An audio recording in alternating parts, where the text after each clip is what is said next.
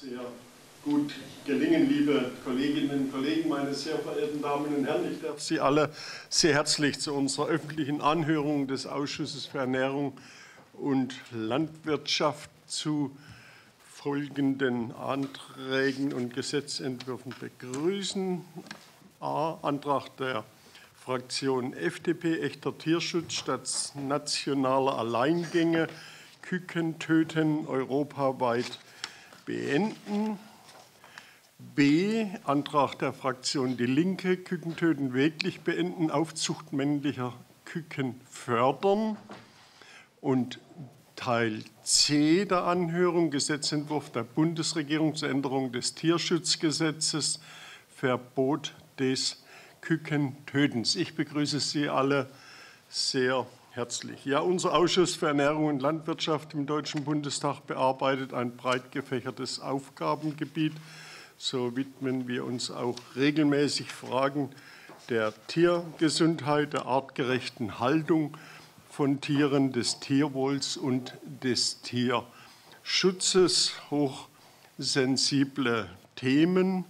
Bereits seit mehreren Wahlperioden ist die in Deutschland im Rahmen der Legehennenzucht praktizierte Selektion und Tötung männlicher Küken sowie mögliche Alternativen dazu ein wichtiges von diesem Aufgabenspektrum umfasstes Thema, ganz besonders auch bei uns im Ausschuss. In der 80. Sitzung am 21. April 2020 21 hat unser Ausschuss deshalb einstimmig entschieden, zu den eingangs genannten Anträgen sowie dem Gesetzentwurf der Bundesregierung eine öffentliche Anhörung durchzuführen. Die Fraktion der FDP fordert in ihrem Antrag die Schaffung eines Rechtsrahmens für den europäischen Wirtschaftsraum auf Ebene der Europäischen Union, der ein Verbot des Kükentötens sowie des Tötens von Embryonen im Ei möglichst zeitnah am Brutbeginn verbindlich festschreibt, voranzutreiben. Darüber hinaus fordert die Fraktion der FDP, sich dabei an Techniken der Geschlechtsfrüherkennung im Ei zu orientieren, für die es eine echte Marktreife gibt und die Weiterentwicklung der entsprechenden Techniken dynamisch zu berücksichtigen, indem das Tötungsverbot von Embryonen im Ei entsprechend der verfügbaren Techniken nach und nach in Richtung des Zeitpunktes des Brutbeginns geführt wird. Die Fraktion der Linke fordert in ihrem Antrag einen Gesetzentwurf, der das Töten von Küken zu einem Straftatbestand nach 17 Ziffer 1 Tierschutzgesetz macht und verpflichtende Packungskennzeichnungen für Eier vorsieht, sowie tiergerechte Mindestanforderungen für Aufzucht, Haltung und Transport von sogenannten Bruderhähnen und Zweinutzungshühnern festlegt. Deren Antrag beinhaltet außerdem die Forderung nach einem dauerhaften Förderprogramm, welches die Landwirte bei der Umstellung von bestehenden Legelinien oder Mastgeflügelhaltung auf die Haltung von zwei Nutzungshühnern aus Bundesmitteln unterstützt. Der Gesetzentwurf der Bundesregierung strebt durch die Aufnahme des Verbots der Tötung von Hühnerküken in das Tierschutzgesetz die Wahrung der Belange des Tierschutzes an. Eingriffe an einem Hühnerei und der Abbruch des Brutvorgangs ab dem siebten Brütungs Brütungstag die bei oder nach der Anwendung von Verfahren zur Geschlechtsbestimmung im Ei durchgeführt werden und den Tod des Hühnerembryos verursachen, sollen verboten werden. Hintergrund der Verbote sind mittlerweile vorhandene Verfahren zur Geschlechtsbestimmung im Brutei, die nach Darlegung der Bundesregierung in Deutschland bis Ende 2021 breitflächig einsetzbar sein sollen. Wir möchten heute mit acht von den Fraktionen benannten Sachverständigen auf der Grundlage der Anträge von FDP und Linke sowie des Gesetzentwurfs der Bundesregierung sprechen und so ein vertiefendes Bild für uns verschaffen. Ich darf deshalb zunächst die Sachverständigen begrüßen, die für die heutige öffentliche Anhörung eingeladen worden sind und alle virtuell im Wege einer Videokonferenz hoffentlich zur Verfügung stehen. Als Einzelsachverständige begrüße ich herzlich Herrn Dr. Ludger Brelo, Geschäftsführer der Respekt GmbH. Ich begrüße ferner Herrn Dr. Dominik Fischer, Facharzt für Zoo und Gehegetiere von der Grüne Zoo Wuppertal. Ich begrüße Frau Dr. Christiane Kepler von der Kalligen Geflügelberatung, Herrn Professor Rudolf Preisinger von der EW Group GmbH, von Verbänden und Institutionen begrüße ich herzlich für den Deutschen Tierschutzbund e.V. Frau Inke Drosset, für das Friedrich-Löffler-Institut Herrn Dr. Thomas Bartels, für die Technische Universität Dresden Herrn Professor Dr. Edmund Koch und für den Zentralverband der deutschen Geflügelwirtschaft, dessen Vizepräsidenten Herrn Henner Schönecke. Den eingeladenen Sachverständigen wurde die Abgabe einer Stellungnahme zu den Anträgen und dem Gesetzentwurf ermöglicht. Sieben Sachverständigen haben von dieser Möglichkeit Gebrauch gemacht und einer Veröffentlichung jeweils zugestimmt. Diese Stellungnahmen sind auf der Internetpräsenz unseres Ausschusses als Ausschussdrucksachen veröffentlicht worden. Ich weise noch darauf hin, dass der Sachverständige Dr. Dominik Fischer die Stellungnahme der, von der Grüne Zoo Wuppertal zu eigen gemacht hat.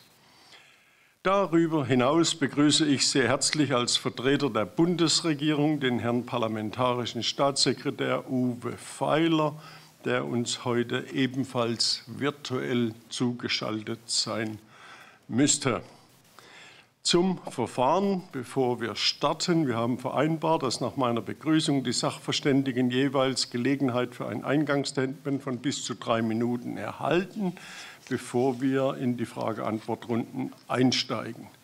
Ich möchte die Experten dringend bitten, diese drei Minuten einzuhalten, weil sie nachher in der äh, Frage- und Antwortrunde auch noch ihre Inhalte kundtun dürfen. Ich bitte Sie weiterhin jeweils nach dem Ende der Redezeit das Mikro stumm zu schalten, aber das kennen Sie alle. Wir haben vereinbart, die Befragung der Sachverständigen in zwei Runden zu jeweils 45 Minuten abzuhalten. Dabei verteilen sich die Frage- und Antwortzeiten auf die Fraktionen wie folgt. Für die CDU-CSU 13 Minuten, für die SPD 8 Minuten, für die AfD, FDP, die Linke und Bündnis 90 die Grünen jeweils 6 Minuten. Je Fragerunde. Ich bitte die Fragesteller, den oder die Namen der befragten Sachverständigen zu nennen und darauf zu achten, dass die Zeiten eingehalten werden. Unsere öffentliche Anhörung wird am 4. Mai im Kanal 2 des Parlamentfernsehens übertragen. Anschließend wird sie in der Mediathek des Deutschen Bundestages zu finden sein. Eine physische Teilnahme ist aus Pandemiegründen leider nicht möglich. Deswegen können in begrenzter Zahl im Wege der Videokonferenz externe Besucher zugeschaltet werden, die sich vorher angemeldet haben.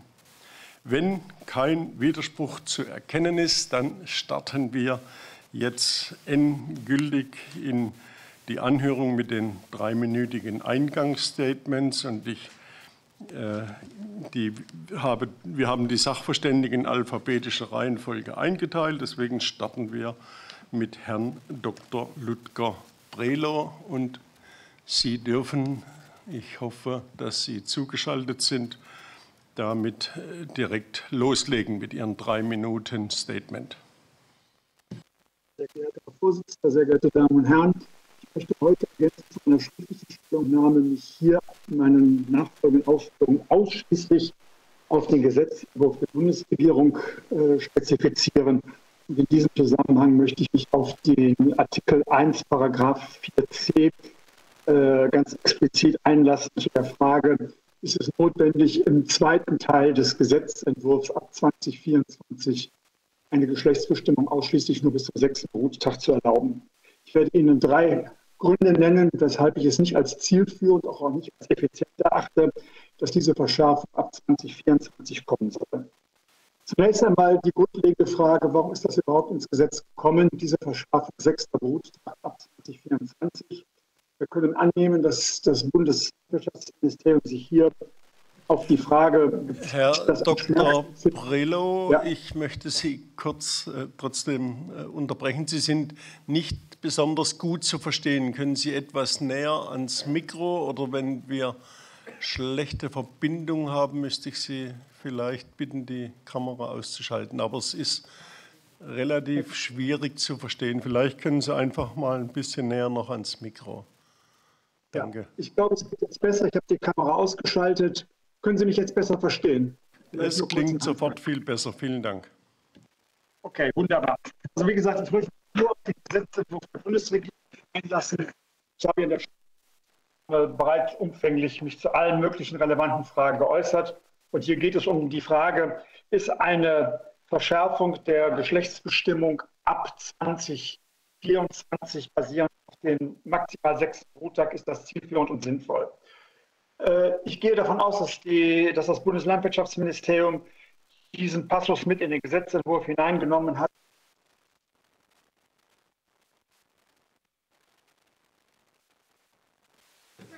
Ja, leider ist jetzt der Ton ganz abgerissen, Herr Dr. Brillau. Vielleicht nehmen Sie in erster jemand anders mit die Stellungnahme, weil ich ja. kann es jetzt auch nicht ändern. Können Sie mich jetzt verstehen? Jetzt im Moment geht es wieder gut.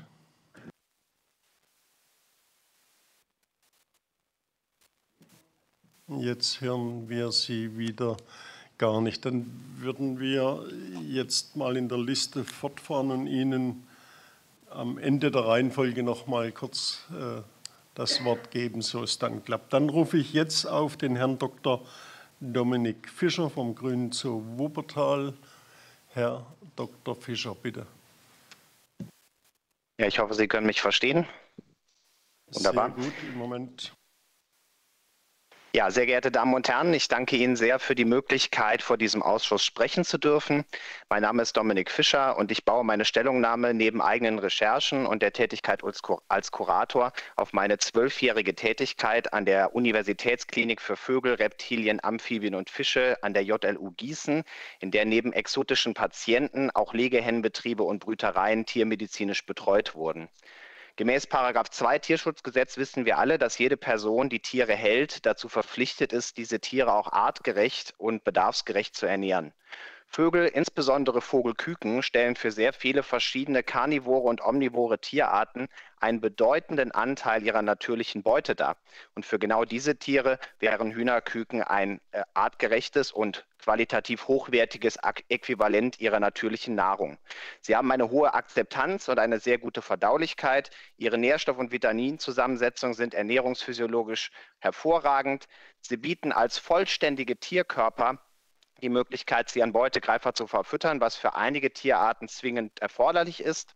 Die hygienischen Bedingungen der Kükenerzeugung sind sehr gut. Der, Ze der, Zeitraum ist schlichtweg zu kurz, damit sich Erkrankungen oder Infektionen, wie sie bei einer mehrwüchtigen Aufzucht entstehen könnten, entwickeln. Dabei ist das Eintagsküken das einzige Futtertier, das diese Eigenschaften und diese Qualität bereits unmittelbar nach der Geburt bzw. dem Schlupf aufweist, ohne die Notwendigkeit einer Haltung oder eines Transportes. Hühnerküken werden deshalb in Zoos, Falknereien, in Tierparks, in Wildparks, in Tierkliniken, in Wildvogelauffangstationen und beispielsweise auch von privaten Tierhaltern, die Katzen, marderartige Reptilien oder Greifvögel halten, verfüttert und da auch dringend benötigt. Wäre dies nicht mehr als Futtermittel verfügbar, würde dies erhebliche Engpässe in der Versorgung dieser Tiere bedeuten. Es ist zu befürchten, dass der Futtertierimport aus dem Ausland deutlich zunehmen würde, ohne die Möglichkeit der tierschutzrechtlichen Einflussnahme und Kontrolle. Gleichzeitig schätze ich einen bedarfsdeckenden Ersatz durch andere qualitativ und hygienisch geeignete Futtertiere als unrealistisch ein. Solche Veränderungen bieten keinerlei Vorteile für den Tierschutz, da eine etablierte, tierschutzkonforme und behördlich überwachte Methode der Tötung des Futtertieres durch vermeintlich schlechtere Alternativen ersetzt würde.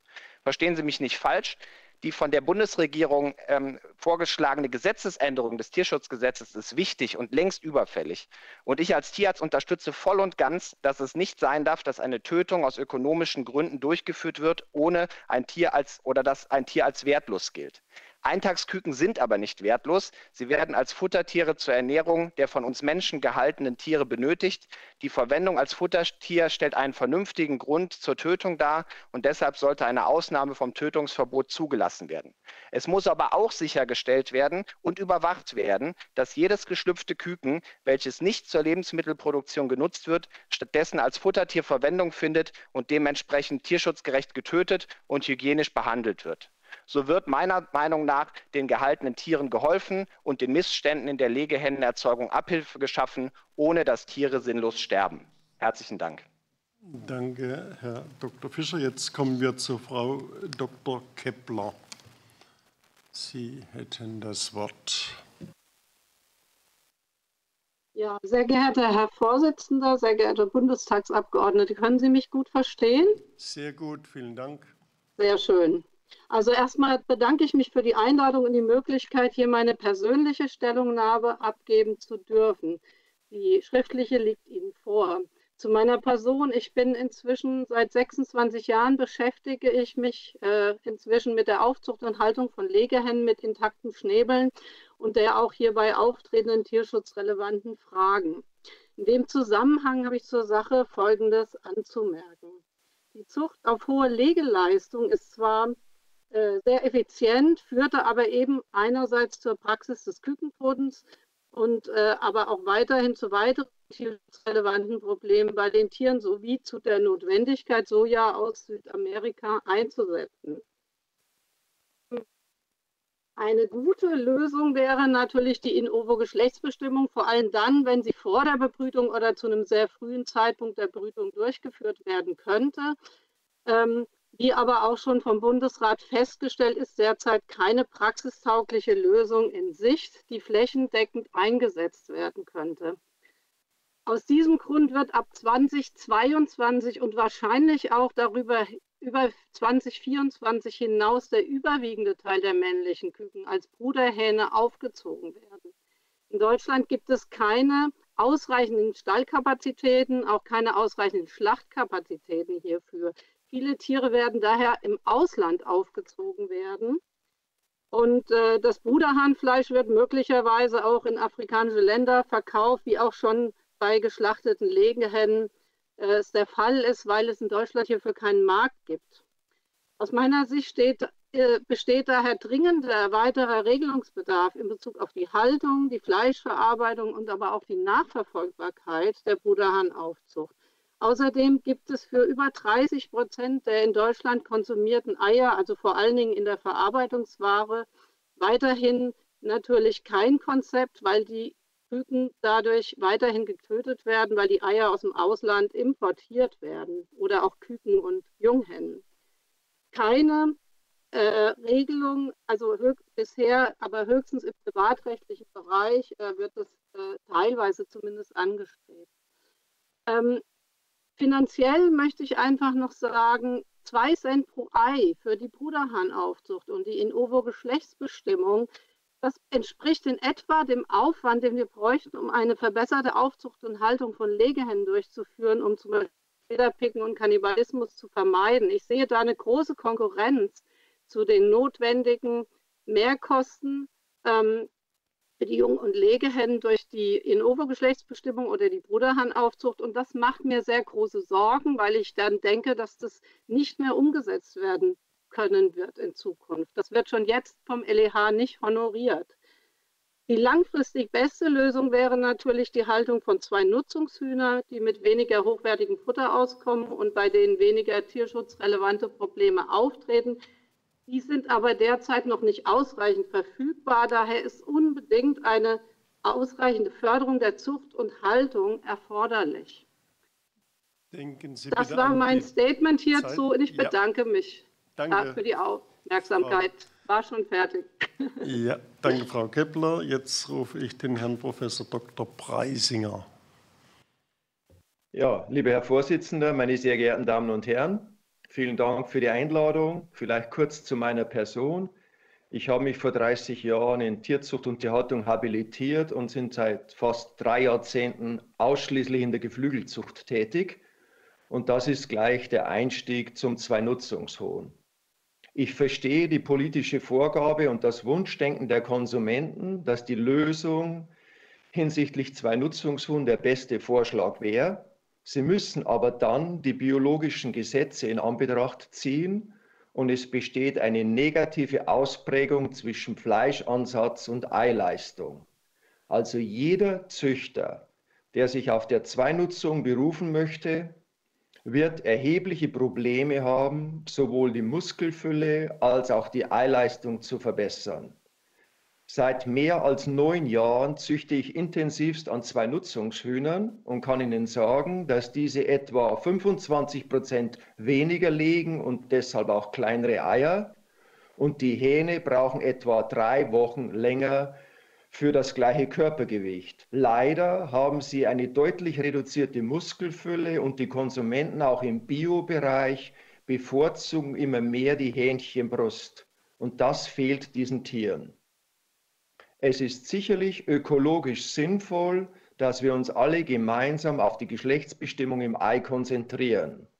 Vor zwölf Jahren war ich mit Herrn Bartels und Herrn Koch, die Mitinitiatoren, und Frau Krautwald-Junghans zur Geschlechtsbestimmung im Ei und ich war bisher in allen Forschungsprojekten beteiligt, die vom Bund und den Ländern gefördert worden sind.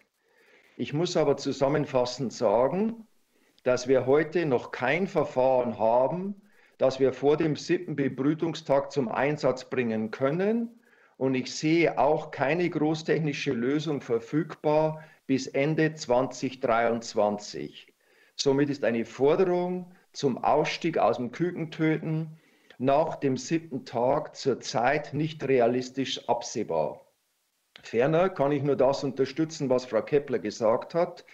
Für die Aufzucht der Hähne von den heutigen Legehybriden fehlen uns die Stallkapazitäten.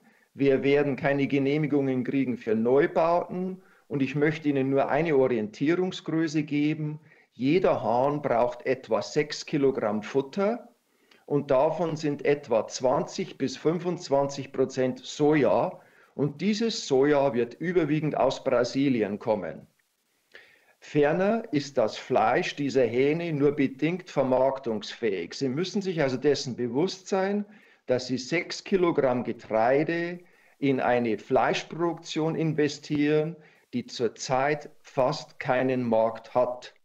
Ferner möchte ich Ihnen noch einen Ausblick geben aus Österreich und der Schweiz. Auch dort hat man es mit zwei Nutzungshühnern versucht, aber in keinem dieser Länder hat es das Nischendasein verlassen und wird es auch in den nächsten Jahren nicht verlassen. Vielen Dank für Ihre Aufmerksamkeit. Danke, Herr Professor Preisinger. Damit kommen wir zu den Verbandssachverständigen und ich rufe die Frau Inke Drosset.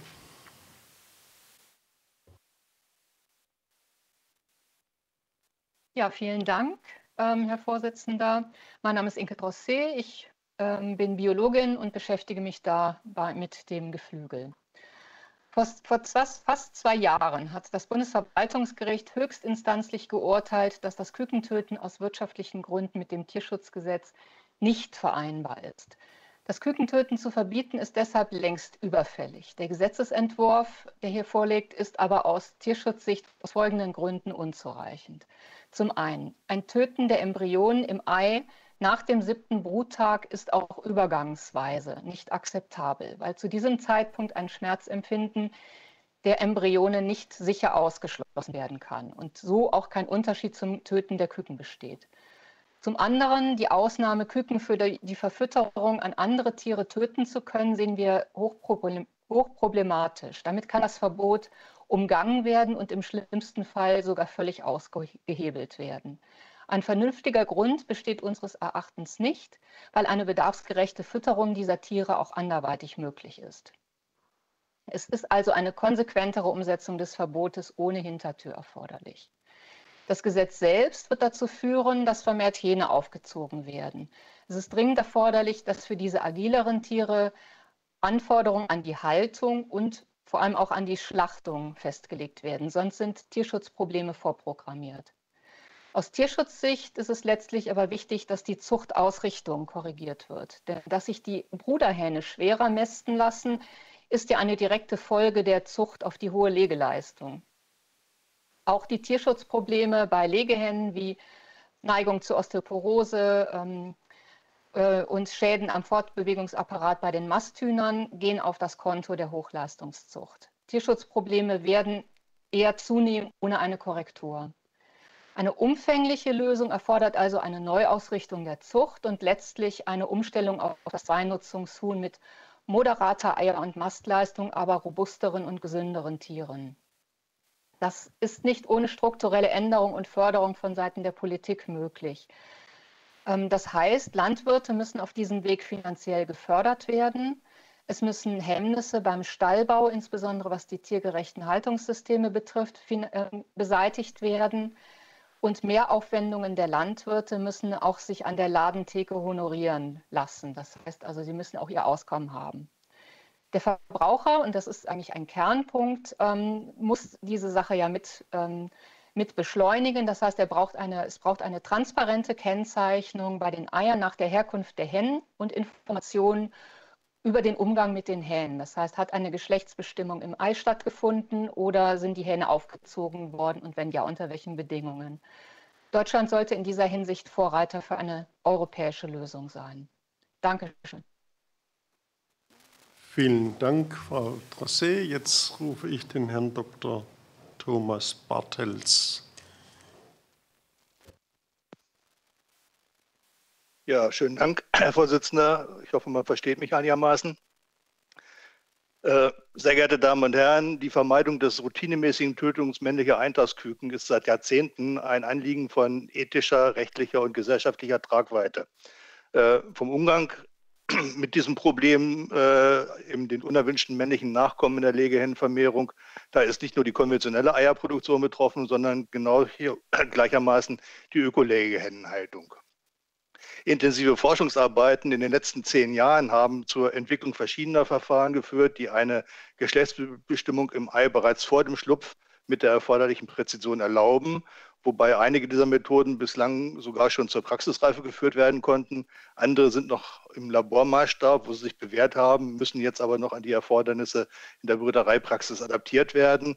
Und äh, hinzu kommen letztendlich auch aktuell national und international weitere Forschungsansätze, die sich allerdings noch im, äh, im Stadium der Grundlagenforschung befinden. Als Alternativen zur In-Ovo-Geschlechtsbestimmung haben in der letzten Zeit auch die Möglichkeiten der Aufzucht der Legehennenbrüder, also die Bruderhahnmast, und die Entwicklung von zwei Nutzungsrassen beim Huhn äh, zumindest wieder Augenmerk erlangt und sind teilweise in den Fokus gerückt. Und so kann man abschließend sagen, dass mittlerweile schon auf eine Auswahl verschiedener Verfahren zur Vermeidung des Tötens unerwünschter Eintagsküken zurückgegriffen werden kann und äh, davon auszugehen ist, dass dieses Spektrum auch zukünftig weitere Methoden erweitert werden kann. Und dabei gilt es eigentlich, äh, möglichst frühzeitig im Brutprozess einsetzbare Analysen anzustreben, dann nach gegenwärtigem Kenntnisstand ab dem siebten Tag beim Embryo die Fähigkeit zur Wahrnehm Empfindungswahrnehmung äh, sich in, in, der Entwicklung befindet und man also nicht sicher davon ausgehen kann, dass äh, nach dem siebten Bebrütungstag die Tiere noch schmerzlos bzw. empfindungsunfähig sind. Dankeschön. Vielen Dank, Herr Dr. Bartels, und ich rufe den Herrn Professor Dr. Koch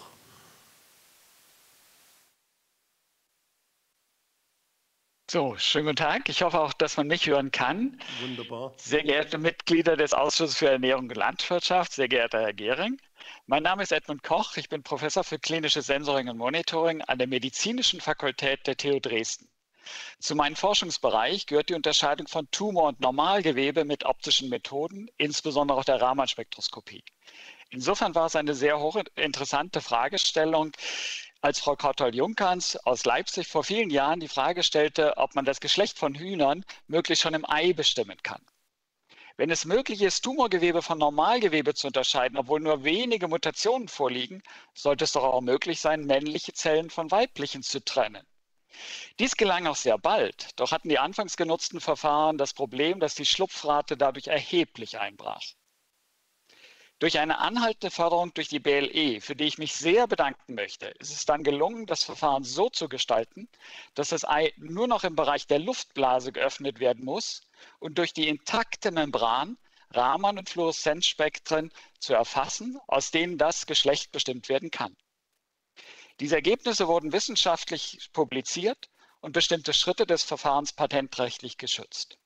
Eine kurze Darstellung des Verfahrens wie eine Publikation und den Abschlussbericht der Förderung finden Sie in meiner schriftlichen Stellungnahme. Die wissenschaftliche Fragestellung, ob das Geschlecht mit optischen Methoden bestimmt werden kann und die Küken weiterhin schlüpfen, kann daher spätestens seit Ende 2018 positiv beantwortet werden. Aus Tierschutzgründen haben wir immer versucht, das Verfahren so früh wie möglich anzuwenden. Wir mussten uns von der anfänglichen Hoffnung auf den Tag 0 verabschieden und können das Verfahren ab Tag 3,5 anwenden. Dazu gibt es auch die meisten Studien. Fragen nach der absoluten Zuverlässigkeit, sind es 95 Prozent oder kann man sogar mehr erreichen? Gibt es bei der optimalen Gestaltung der Brutbedingungen überhaupt eine reduzierte Schlupfrate? Und wie groß ist die Einbuße? Sind sicherlich im Rahmen der Entwicklung des Verfahrens noch zu beantworten und erfordern sicherlich noch sehr viel Arbeit. Seit dem Erreichen dieses wissenschaftlichen Ziels suchen wir einen Partner zur Automatisierung und großtechnischen Umsetzung dieses Verfahrens. Leider haben sich die Verhandlungen zu den Schutzrechnern als äußerst kompliziert und zäh herausgestellt.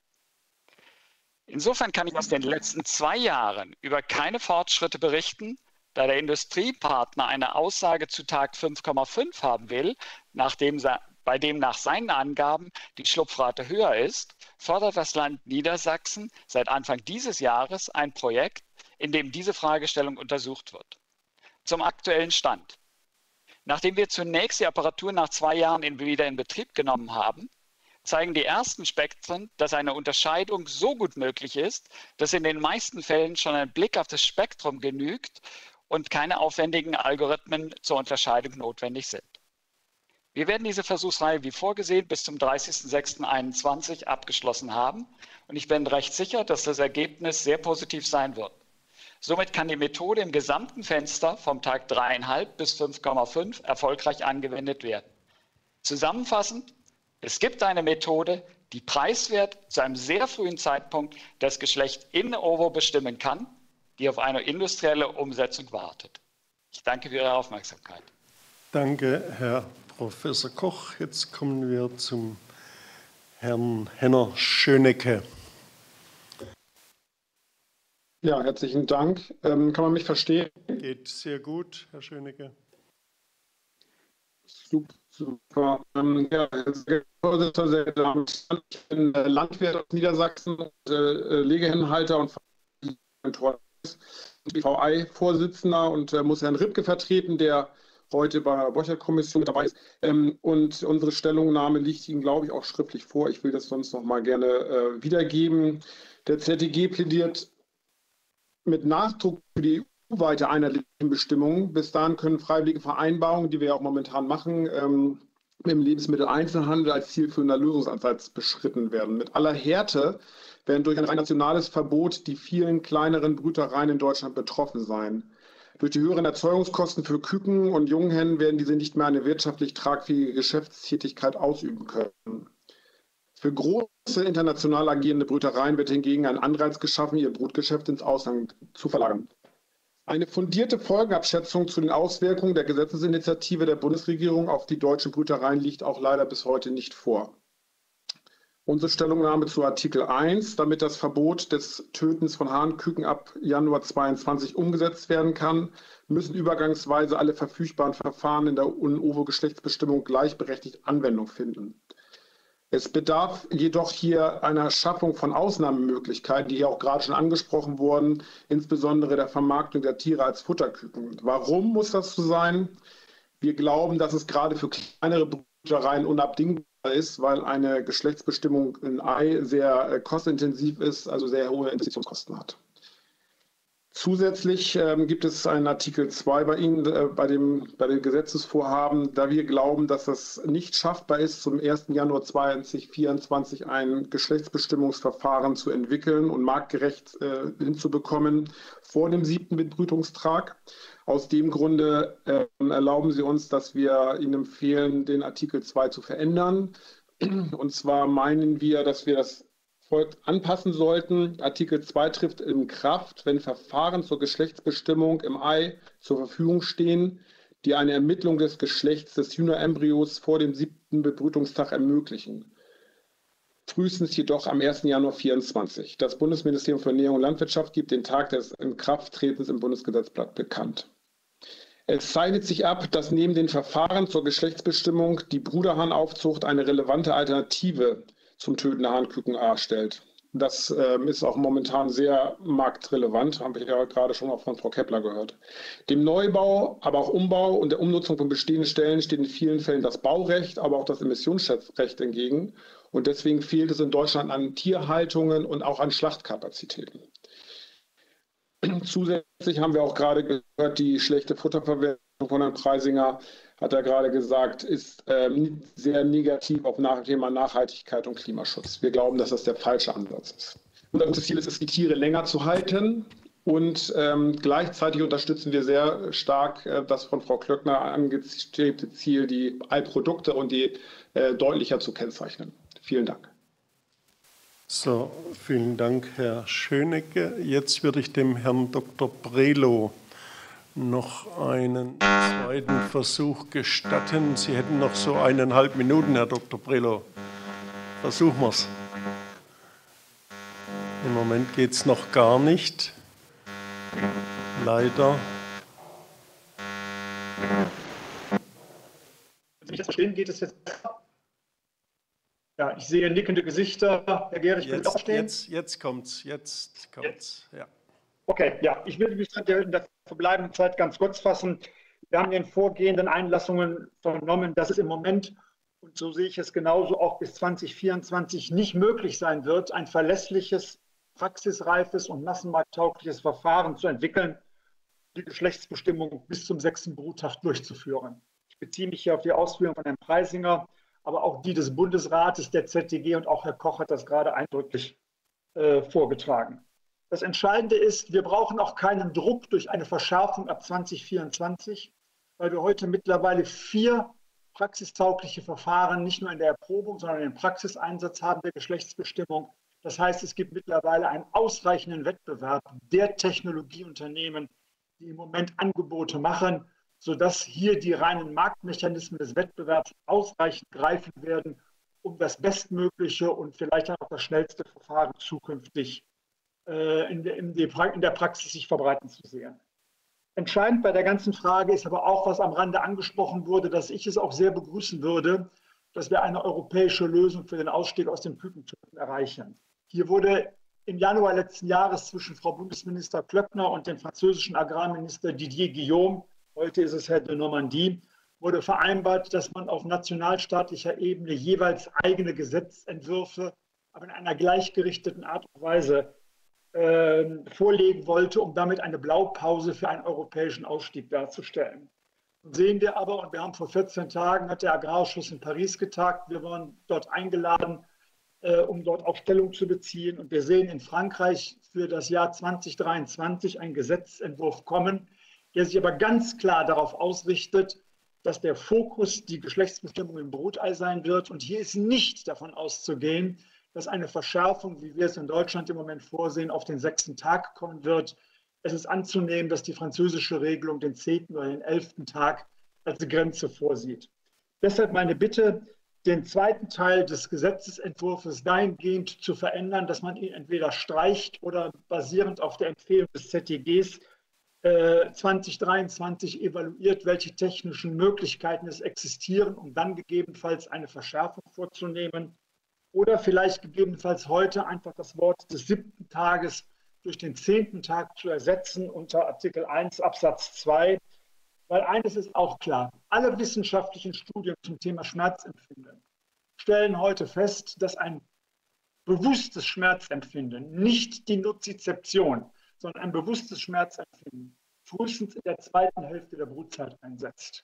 Wir kennen Studien, die von der Nozizeption, der Reizregistrierung ab dem siebten Bruttag sprechen, aber das bewusste Schmerzempfinden ist weltweit in allen wissenschaftlichen Studien beschrieben frühestens in der zweiten Hälfte der Brutzeit und die kann man hier mit 10,5 annehmen. Ich bedanke mich und stehe für weitere Fragen zur Verfügung. So, jetzt ging es mit dem Ton deutlich besser. Vielen Dank, Herr Dr. Brehler. Wir starten ein in die Frage-Antwort-Runde. Zunächst die ersten 13 Minuten für die Union. Ich möchte die Kollegin oder den Kollegen bitten, sich direkt zuzuschalten und nicht vergessen zu sagen. An, ja, Kollegin Breyer. Silvia, ich, ich darf, ja? Ja, bitte. Ja, Silvia Breyer für die CDU-CSU-Fraktion. Vielen Dank an die Sachverständigen, dass Sie da sind für Ihre einführenden Worte und zum Teil eben auch schriftlichen Einlassungen. Ich möchte zunächst nochmal auf die Basis eingehen, ähm, also des Ganzen, warum wir das überhaupt machen und darüber am Ende auch überhaupt sprechen. Herr Bartels, die Frage an Sie. Vielleicht können Sie noch mal, ähm, es klang gerade bei Herrn Brelo an, äh, zur Frage äh, Nozizeption und Schmerzempfinden ein bisschen ausführen, welche Studien es gibt und wieso man am Ende auf den siebten Tag gekommen ist oder ob es sinnvoll ist, einen späteren Tag anzunehmen. Und ähm, damit würde ich jetzt mal kurz starten. Herr Bartels? Ja, schönen Dank. Ja. Also der siebte Tag ist ins Gespräch gekommen, weil äh, histologische Untersuchungen gezeigt haben, dass eine Verbindung zwischen den äh, Synapsen äh, oder den reizleitenden Systemen bis hin zum Rückenmark eigentlich vor dem siebten Tag beim Hühnerembryo nicht vorhanden ist. Das heißt, eine Weiterleitung von peripheren Reizen an das Gehirn ist vor dem siebten Tag nicht möglich. Ab dem siebten Tag beginnt sich das aber zu entwickeln. Es gibt äh, Aufnahmen mit bestimmten Techniken, die ganz schön zeigen, dass also auch das Gerüst, was später die Nerven zeigt, also die Neurofilamente am siebten Bruttag schon sehr stark ausgebildet ist. Was man nicht weiß, ist, inwieweit diese entsprechenden Reize auch schon tatsächlich A im Gehirn tatsächlich ankommen, hier als Schmerzreize wahrgenommen werden und inwieweit da auch letztendlich von einer Schmerzempfindungsfähigkeit schon ausgegangen werden kann. Aber das betrifft alle anderen Tage auch. Das betrifft den zehnten Tag ganz genauso. Alle Festlegungen sind diesbezüglich willkürlich. Was man einfach bislang nur festlegen kann, ist, vor dem siebten Tag ist keine Schmerzempfindung möglich. Äh, ab dem 15. Blutungstag ist das Gehirn so weit ausdifferenziert, dass man auf jeden Fall davon ausgehen kann, was sich in der Zwischenzeit abspielt.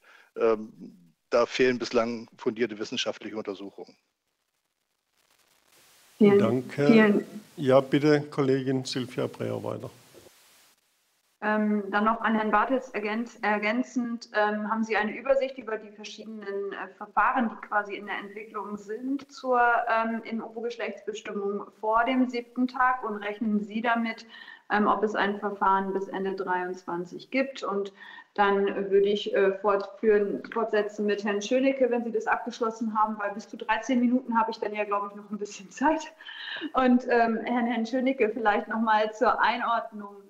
Ähm, wie viele Brütereien haben wir in Deutschland? Wie ist das selbst, der Selbstversorgungsgrad, also nicht beim Ei, sondern beim Huhn, bei, bei der Legehenne tatsächlich in Deutschland? Und ähm, wie viele Eintagsküken werden ähm, in Deutschland im Jahr, also die männlichen Brüder sozusagen getötet? Also wie viele theoretische Futterküken würden anfallen? So, zunächst Herr Bartels, bitte, Ihre Frage. Ja, also äh, ab wann im Prinzip die verschiedenen Verfahren funktionieren, hängt ein bisschen ab von der Funktionsweise. Es gibt ja zwei grundsätzliche Ansätze. Zum einen eben den optischen Einsatz, wie Herr Koch äh, geschildert hat, dass also mit Licht gearbeitet wird. hier kann tatsächlich eben ab dem dreieinhalbten Bebrütungstag schon zuverlässig das Geschlecht bestimmt werden. Andere Verfahren, äh, die auf äh, Flüssigkeitsentnahme aus der Allantois, also dem embryonalen Harnsack, angewiesen sind, die können allein aus anatomischen Gründen erst später funktionieren, weil dieser Allantois sich erst entwickeln muss, eine gewisse Größe entfalten muss und entsprechend Substanzen, die dann auch geschlechtsspezifisch sind, äh, sei es Hormone, sei es andere Inhaltsstoffe, sich gebildet haben müssen. Und hier ist es wohl so, dass Verfahren, die auf der Basis von Geschlechtschromosomen basieren, also das sogenannte Plandeck-Verfahren, prinzipiell wohl ab dem sechsten Tag funktionieren. Äh, wenn das denn eben gelingt, die Allantois so zu äh, finden und zu punktieren, dass eine entsprechende Entnahme von Analysesubstanzen möglich ist, äh, geht es auf der Basis von Hormonen, ist das erst später der Fall. Das lässt sich dann auch nicht beliebig nach vorne verlagern. Danke, Herr Bartels. Herr Schönecke, Sie waren noch angesprochen. Ja, danke schön, äh. Ähm, und zwar die Fragen beantworte ich so, die ähm, Anzahl der Brütereien. Wir haben ein bisschen mehr als 20 relevante Brütereien in Deutschland. Ähm, wir gehen davon aus, dass äh, vielleicht eine Handvoll der Brütereien nach der Gesetzesgeschichte noch übrig bleiben wird und der Rest entweder aufgeben wird oder ins Ausland abwandern wird. Wir brauchen für Deutschland ähm, werden für Deutschland ungefähr 70 Millionen äh, Legehennen gehalten, die also für den deutschen Markt ähm, Eier produzieren, was sowohl das Schalenei angeht als auch ähm, das Weiterverarbeitungsei. Das ist ja die relevante Größe. Wir selber halten, äh, wir selber schlüpfen in Deutschland nicht ganz die Hälfte dieser Küken. Ähm, also da wird das Gesetz dann quasi auch nur zur Hälfte dann greifen können. Ähm, wir gehen davon aus, dass auch eine relevante Menge dann in Zukunft weiterhin aus dem Ausland kommt. Also wir haben heute schon sehr, sehr viele Küken, die aus dem Ausland kommen, insbesondere aus äh, Holland, also äh, aus den Niederlanden. Und dann war die dritte Frage von Ihnen, wie viele Futterküken ähm, wird es in Deutschland geben? Ähm, die Zahl, die ist mir nicht hundertprozentig bekannt, das müssen mehrere Millionen wohl sein. Ähm, ich weiß aber, es gibt ja heute schon äh, einen Markt, einen relevanten Markt dafür und auch eine große Nachfrage. Gerade in Süddeutschland, die kleineren Brütereien sind sehr, ähm, haben sehr ambitioniert, ist schon immer die Futterküken als Einzeltiere verkauft. So, vielen Dank an Sie beide. Die Kollegin Breer macht weiter, oder? Ja. Leider keine Uhr, deswegen bin ich immer ein bisschen ratlos. Ähm, aber vielen Dank, dann frage ich nochmal weiter ähm, auch Herr, Herr Schönecke. Ähm, also wenn 30 Millionen Legehennen in Deutschland schlüpfen, dann gehe ich mal davon aus, dass sie 30, 30 Millionen Brüder haben. Aber äh, vielleicht äh, so zur Einordnung der Anzahl der, der Eintagsküken in äh, Deutschland. Wenn dem nicht so ist, könnten Sie dem ja nochmal widersprechen. Ähm, wie könnte man das Ihrer Meinung nach denn, ähm, denn ausgestalten mit einer europäischen Lösung? Und wie bekommen wir es hin, dass wir, wenn wir diesen Schritt gehen, zunächst Step 1 und dann Step 2, ähm, dass wir, die, dass wir die, die Brütereien in Deutschland am Ende halten? Welche Lösungsvorschläge haben Sie? Also für uns ist relevant, dass ähm, die Eier, die in Deutschland vermarktet werden, halt auch unter den gleichen Bedingungen ähm, ähm, produziert worden sind. Und ähm, deswegen ist es sehr, sehr schwer, glaube ich, gerade wie Sie den Import gestalten wollen. Deswegen wird äh, als freiwillige Lösung äh, wird das über einen Cut-Verein organisiert, dass der Lebensmitteleinzelhandel die Schaleneier wenigstens als äh, ohne Hahntöten verkauft. Das wollen wir natürlich auch, dass das bei den weiterverarbeiteten Eiern passiert. Da müssen wir mit den relevanten ähm, Organisationen und Unternehmen auch sprechen, das, äh, insbesondere das Thema Gastronomie oder auch ich sag mal, Kuchenhersteller und so sind für uns da sehr wichtige Ansprechpartner. Ähm, das wird sehr schwer werden, ähm, denen zu verstehen zu geben, dass das Produkt auf einmal 20 bis 30 Prozent teurer wird. Ähm, das ist eine sehr auch eine relevante äh, Größe für die. Ähm, wir glauben, dass ähm, es sinnvoll ist, dass Sie das Thema Geschlechtsbestimmung im Ei weiterhin uns ermöglichen, ähm, aus den genannten Punkten, und dass Sie die Übergangsfristen hinsichtlich des siebten Tages, Bebrütungstages, also weiter nach hinten verlegen können, damit auch gerade ist das eine relevante Geschichte für die kleineren Brütereien. Und das halte ich für unabdingbar, dass Sie da ähm, was ändern an dem Gesetz. Ansonsten sind wir gerade, ähm, wie es auch vorher schon genannt worden ist, wir sind dafür, dass wir die Hahnküken nicht mehr töten und wir möchten das gerne, dass wir da äh, immer besser werden. Das hat unsere Branche auch, glaube ich, in den letzten 15 Jahren schon sehr stark bewiesen, dass wir da im Thema Tierschutz und Tierwohl äh, führend sind in Europa. Vielen Dank. Noch vier Minuten hätte die Union.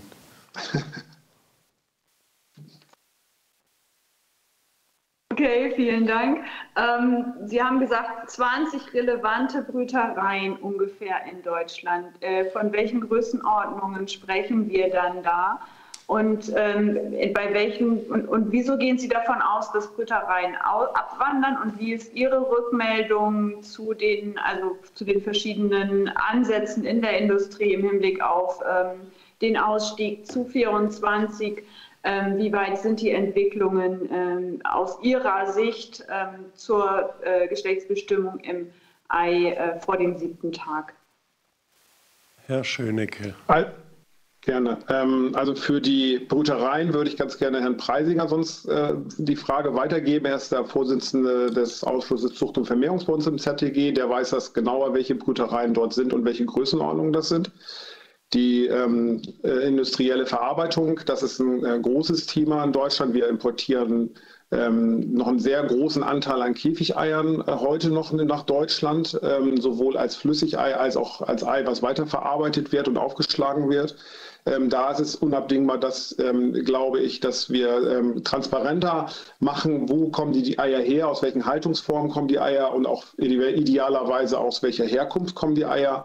Und ähm, deswegen ist das, was Frau Klöckner dort sich überlegt hat mit der Kennzeichnungspflicht, was ja öfter schon mal angegangen worden ist bei Eiprodukten, so, so unabdingbar, dass wir das überhaupt, sonst würden wir das nie hinbekommen. Deswegen ist das der transparente Weg auf alle Fälle richtig. Herr Professor Preisinger, Sie dürfen gerne ergänzen. Ich würde gerne ergänzen, die Größenordnung der Brütereien beginnt bei ca. 100 bis 200.000 Küken pro Jahr und endet bei 10 Millionen Hennenküken pro Jahr. Und ergänzend zu den Ausführungen von Herrn Schönecke, wir müssen davon ausgehen, dass es Eierproduzenten geben wird, die wollen die drei oder vier Euro Zusatzkosten sparen und werden dann zukünftig für eine gewisse Zeit die Küken oder die Junghennen aus dem benachbarten Ausland importieren. Und dort sind dann die Brüder weiterhin getötet worden. Also somit kriegen sie automatisch einen schrumpfenden Markt, weil wir reden um etwa drei oder vier Euro bis fünf Euro mehr Kosten für den Eiererzeuger. Und wenn er in der sogenannten Direktvermarktung ist und sein Image verkauft, dann kann er sich die Junghenne von überall beziehen. Und ich als Süddeutscher kann Ihnen das bestätigen. Die Leute werden die Junghennen in Österreich kaufen und die Hühner legen dann in Deutschland die Eier. Vielen Dank. Die halbe Minute würdet ihr verzichten. Dann kommen wir jetzt zur SPD. Die Kollegin Mittag nehme ich an, die ist hier im Saal. Ja.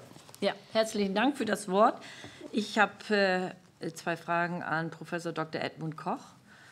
Und zwar, wir haben, ähm, ja, also Grundlage, warum wir auch dieses Gesetz haben, ist ein gerichtliches Urteil und somit regelt ja nicht der Markt, wie gelegentlich erwähnt worden ist, und äh, die Problematik, sondern es sind Vorgaben zu erfüllen. Und äh, Zeitfaktor und Unterstützung beschleunigt ja nicht nur bei diesem Thema manchmal die Entwicklung. Und da hoffen wir natürlich auch darauf. Und äh, ich habe jetzt dazu zwei Fragen. Wie realistisch ist die im Gesetzentwurf vorgesehene Frist vom 01.01.2024 für die praktische Anwendung von Verfahren zur Geschlechtsbestimmung vor dem siebten Bruttag? Es ist ja vorab auch erwähnt worden, es gibt schon mehrere Varianten, nicht nur die eine. Und in welchen, mit welchen Rahmenbedingungen können schnellere Forschungsfortschritte bzw. die Umsetzung in der Praxis unterstützt werden, um eben fristgerecht zu sein? In welchem Rahmen von Personal- und Sachkosten Forschungsausweiten bzw. in die Entwicklung zu gehen. Herr Dr. Koch. Herr Professor Koch. Ja, Danke für die Möglichkeit, ja auszuführen. Ich sagte es ja schon, leider haben wir in der letzten Zeit viel, viel Zeit vertan, dadurch, dass wir nicht in die Entwicklung gegangen sind. Ähm, geschlossen bundesweit umzustellen bis zum letzten Ei innerhalb der bestehenden Frist ist sicherlich ein Problem. Wir sehen das beim Impfen, wir sehen das bei allen umstiegenden Technologien, dass das nicht innerhalb kurzer Zeit möglich ist.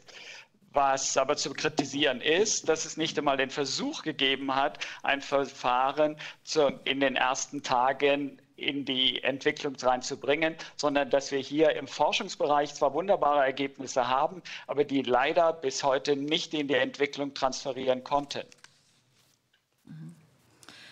Ja. Vielen Dank. Ja. Herzlichen Dank. Und ähm, woran lag das denn, dass das nicht äh, sozusagen weiter ähm, befeuert werden konnte? Äh, da stellt sich natürlich die Frage, in welchem Umfang auch marktsichernde Aspekte, also Patente zum Beispiel Auswirkungen auf die derzeitigen Forschung haben und auch auf die derzeitige Umsetzung. Es ist offensichtlich ja so eine leichte Entwicklungslücke. Ja, es gibt zur optischen Geschlechtsbestimmung ein äh, grundlegendes Patent aus dem Jahr 2007, das ähm, insgesamt sagt, mit spektroskopischen Methoden kann man das Geschlecht im Hühnerei bestimmen. Dieses Patent, was zwischen den Universitäten Jena und Leipzig entwickelt wurde, gehört heute zu 80 Prozent der EW Group. Das heißt, ein Verfahren zu entwickeln, das auf dieser Basis arbeitet, könnte einen Patentstreit zur Folge haben, wenn man nicht zur EW Group gehört. Ähm, in dem Originalpatent ist zwar nicht geschildert, wie es denn wirklich funktioniert, oder man muss sagen, alle Dinge, die damals geschildert wurden, haben sich als unrealistisch herausgestellt, aber das generelle Verfahren ist damit patentrechtlich geschützt. Es gibt weitere Patente, die inzwischen vielleicht einem anderen Firma es schwer machen würde, eine entsprechende Methode zu entwickeln, weil es immer schon Patente dazu gibt sodass es ein Wettbewerb in diesem Bereich wahrscheinlich sehr, sehr schwierig ist. Ähm, und es kann im Moment leider nicht wirklich weiterentwickelt werden. In welchem Rahmen sind dann äh, Möglichkeiten der Unterstützung seitens des Landwirtschaftsministeriums, seitens der Forschung, aber auch derer, ja sagen wir, des Marktes, die ja eigentlich alle ein Interesse haben sollte, dass es umsetzbare Möglichkeiten gibt, eben innerhalb dieser sieben Tage das zu erkennen. In welchem Rahmen ist es denn möglich, in Zusammenarbeit die Entwicklung voranzutreiben?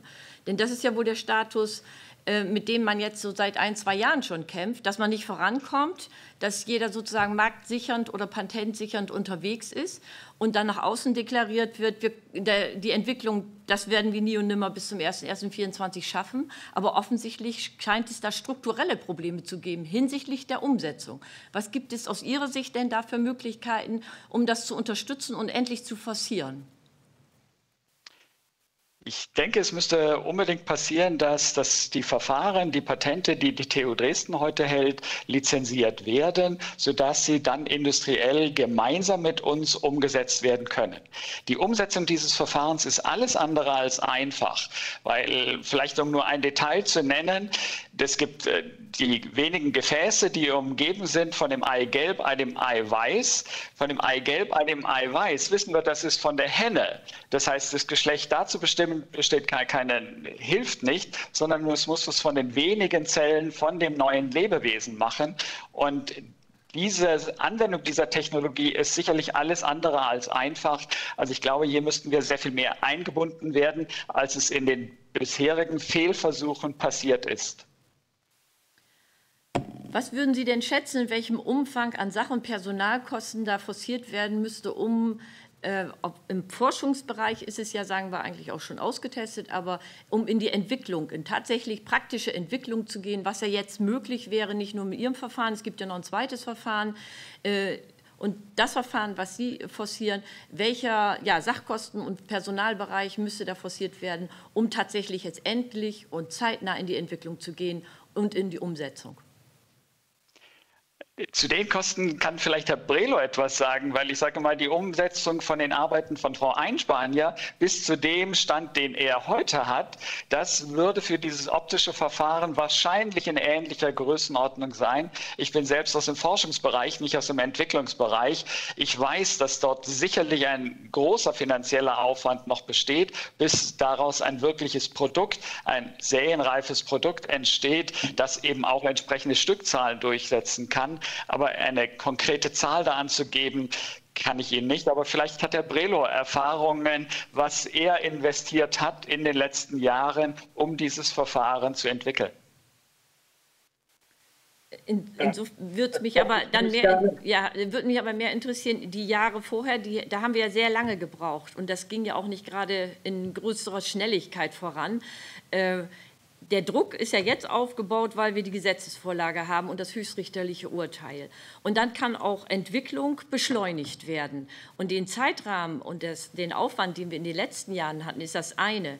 Aber jetzt haben wir einen Zeitrahmen, der möglichst effizient genutzt werden muss. Und in diesem Rahmen, in welchem Vielleicht kann Herr Brelo da auch noch was zu sagen. Aber in welchem Rahmen muss das forciert werden? Eventuell auch seitens der Bundesregierung in Forschung, aber hinsichtlich der Umsetzung dieses tatsächlichen, ja fast abgeschlossenen Forschungsstandes, um in die Entwicklung zu kommen. Denn es hilft nicht wirklich, noch jahrelang weiter zu forschen. Es muss die Entwicklung angegangen werden. Und welcher, welches Volumina wäre das so ungefähr? Und wie gesagt, kann Bundesregierung da unterstützen? Weil das offensichtlich im privatrechtlichen Bereich habe ich den Eindruck, eher schleppend läuft. Jetzt haben Sie nur noch 30 Sekunden für die Antwort. Das schafft Herr Koch. Ja. ja, also es ist sehr schwierig, wie gesagt, als ein öffentlich die Entwicklung, die Maschine zu entwickeln. Das halte ich für keine gute Sache, sondern ich glaube, das muss industriell passieren. Ähm, wir stehen bereit. Ich denke, in dem Forschungsbereich wäre nicht mehr wirklich so viel Kapazität notwendig. Es sind wirklich die Verfahrenstechniker, es sind die Leute, die wirklich Maschinen bearbeiten, die auch für hohen Durchsatz geeignet sind. Da ist ganz, ganz viel notwendig. Aber das beruht darauf, dass man vorher diese Patentsituation äh, kreiert, löst und nicht erst nachträglich, wenn eine Maschine da ist, weil das wird dann zu unendlichen Patentstreitigkeiten führen. Wunderbar. Danke. So, vielen Dank dafür. Für die AfD ist im Saal der Herr Brotschka. Danke fürs Wort, Herr Vorsitzender. Meine Frage würde sich an Frau Drosset vom ähm, Tierschutzbund richten. Es gibt ja wissenschaftliche Untersuchungen, dass wir in Zoos, Falknereien, stationäre Zoofachhandlungen und so weiter und so fort jährlich mehr Eintagsküken verfüttern, als wir in Deutschland ähm, produzieren. Und somit werden ja auch noch getötete Küken importiert, um den Futterbedarf zu decken. Jetzt gibt es oder stand Anfang April in den Medien, dass die Bundeslandwirtschaftsministerin derzeit an einer entsprechenden Ausnahmeregelung arbeitet. Und jetzt habe ich Sie vermutlich nicht richtig verstanden in Ihrem Eingangsstatement. Ist der Futterbedarf von Zoos und Falknereien aus Ihrer Sicht ein vernünftiger Grund oder kein vernünftiger Grund zur Rechtfertigung für Tötung von männlichen Ein Eintagsküken? Entschuldigung. Und wie sinnvoll wäre es aus tierschutzrechtlicher Sicht, wenn wir für diesen enormen Futterbedarf andere Tiere zum Zwecke der Verfütterung aufziehen und dann töten würden, obwohl männliche Küken aus Legelinien ja zur Verfügung stünden. Dankeschön. Frau Drosé, das ging an Sie. Also gemeint war, es besteht kein vernünftiger Grund für das Töten der Küken. Aus unserer Sicht ist damit eine Umgehung des ähm, Verbotes tatsächlich ähm, mit umfasst. Ähm, was, die, was den tatsächlichen Bedarf betrifft, ähm, kann man nur spekulieren. Es gibt ganz unterschiedliche, ähm, es gibt ganz unterschiedliche Hinweise dazu. Es gibt Belege, dass also einige Zoos gar, keine, ähm, gar keinen Bedarf anmelden, andere äh, deutlich mehr. Das sind unterschiedliche ähm, Untersuchungen, die da vorliegen. Herr Dr. Fischer hat in, seinen Aus, äh, in, seinen, in seiner Stellungnahme einen Bedarf von 31 Millionen Küken für Deutschland angegeben, also bezogen auf die zoologischen Einrichtungen ähm, und Greifvögelhaltungen. Äh, das würde aber bedeuten, dass tatsächlich, also wenn man jetzt von 45 Millionen Küken ähm, ausgeht, würde das bedeuten, dass tatsächlich 70 Prozent für diese 70 Prozent der Küken Ausnahmegenehmigung erlassen würden. Und das kann äh, nicht Sinn eines Tierschutzgesetzes sein. Damit würde das Verbot komplett ausgehebelt. Aber äh, nochmal meine Nachfrage zu dem zweiten. Wie sinnvoll wäre es dann aus tierschutzrechtlicher Sicht, weil die, die Greifvögel oder die ähm, Tiere in Zoos, die von jetzt äh, Eintagsküken gefüttert werden, müssten ja weiterhin gefüttert werden. Ähm, wenn man aus tierschutzrechtlicher Sicht dann andere Tiere züchten würde, wie zum Beispiel, keine Ahnung, Mäuse, Ratten oder wie auch immer, um diese dann zu töten und zu verfüttern, ist das nicht, äh, widerspricht sich das nicht irgendwie aus tierschutzrechtlicher Sicht? Ähm, also aus unserer Sicht hat sich ja, hat sich dieser Bedarf auch erst letztendlich nachträglich ähm, bilden können. Diese Küken sind eine sehr, sehr günstige Futterquelle, die sind deutlich günstiger als, als ähm, die Produktion oder die Zucht von Mäusen oder Ratten. Und das ist sicher auch der Grund, warum man da jetzt also besonders drauf ähm, spekuliert hat und seine, seine Fütterungsstrategien auch vielleicht auch darauf ausgerichtet hat. Das muss ähm, ernährungsphysiologisch für diese Tiere auch nicht zwingend ähm, die, die beste Lösung sein. Da gibt es also auch in Fachkreisen durchaus auch kritische Haltungen dazu, was eben die, die Ernährungsphysiologie betrifft. Und ähm, ja, also es ist, ja, haben natürlich recht, es, es werden Mäuse und ähm, Ratten dafür auch hergenommen. Das mag sogar physiologisch sogar auch noch zum Teil auch noch irgendwie günstigere Variante sein. Und für diese Tiere müssen natürlich auch entsprechende Haltungsvorgaben etabliert sein, damit, äh, damit also auch nicht da weitere Tierschutzprobleme entstehen. Es ist so, dass derzeit so ein Futtermittelmix vorhanden ist, unseren äh, Informationen zufolge. Und im Moment werden einfach auch Tiere wie Mäuse und Ratten mit verfüttert. Das ist einfach so. Kann ich die Minute schieben? Können wir machen. Danke. Eine Minute für die zweite Runde. Dann kommen wir jetzt zur FDP. Wenn ich es richtig sehe, ist der Herr Dr. Hocker in der Leitung oder wer meldet? Exakt. Jawohl. Jawohl, genau. Vielen Dank, äh, Herr Vorsitzender, für das Wort. Ähm, ich äh, möchte ganz kurz Bezug nehmen auf einen Satz, den der Herr Bartels eben gesagt hat, äh, mit Blick auf äh, die Vorhaben der Bundesregierung, der Landwirtschaftsministerin und des Ministeriums insgesamt, dass eben schon ab dem sechsten Tag eine Geschlechtsdefinition und Erkennung möglich sein soll. Ich habe verstanden, dass ähm, es äh, sag mal, zum zehnten Tag durchaus Technologien gibt und trotzdem die Bundesregierung den sechsten Tag des Bebrütens anvisiert. Wenn es hierfür aber noch gar keine technische Lösung gibt, so habe ich die äh, Anzuhörenden eben verstanden. Äh, erscheint einem, ich sage mal etwas ketzerisch formuliert, ein solcher gegriffener sechster Tag als ein Instrument, um eine tatsächliche Lösung zu verhindern, äh, wenn es dafür kein technisches Verfahren gibt, das das sicherstellen würde. Da würde ich von Herrn Bartels gerne wissen, ob er diese Einschätzung teilt. Und meine zweite Frage richtet sich an Herrn Brelo. Ähm, Herr Brelo, Sie haben das ja sehr eindrucksvoll beschrieben eben, äh, wozu das führt, wenn sozusagen die deutschen äh, Brutstädte oder Brutereien nicht mehr sozusagen produzieren können. Äh, vielleicht deswegen die ganz einfache Frage an Sie, ist das nicht einfach nur das Verschieben eines moralischen Dilemmas ins Ausland, wenn wir künftig also sozusagen äh, die Brutereien in Deutschland äh, vertreiben oder die eben Insolvenz anmelden müssen, wir aber die ähnlichen Produkte schließlich nachher aus dem Ausland importieren müssen? Vielen Dank. Herr Dr. Bartels, Sie waren zuerst angesprochen. Jawohl, Dankeschön. Ja, wie ich schon eingangs erwähnte, beruht der siebte Tag äh, als Festlegung darauf, dass man sicher gehen kann, dass vor diesem siebten Bebrütungstag eben noch keine Empfindungsfähigkeit vorhanden ist nach dem siebten Tag aber äh, die Entwicklung einsetzt und natürlich dann eben bis zum schlupfreifen Küken komplett abgeschlossen ist. Ähm, von daher teile ich diese Bedenken eigentlich nicht. Ähm, wie Herr Koch erwähnte, gibt es Verfahren, die prinzipiell geeignet sind, bereits nach dreieinhalbtägiger Bebrütung und noch sicherer nach fünfeinhalbtägiger Bebrütung zu arbeiten. Es sind international auch weitere äh, Verfahren gegenwärtig in der Testung, die das äh, möglicherweise erbringen können. Ob in der erforderlichen Präzision und auch in den erforderlichen Durchsatzraten, das bleibt abzuwarten.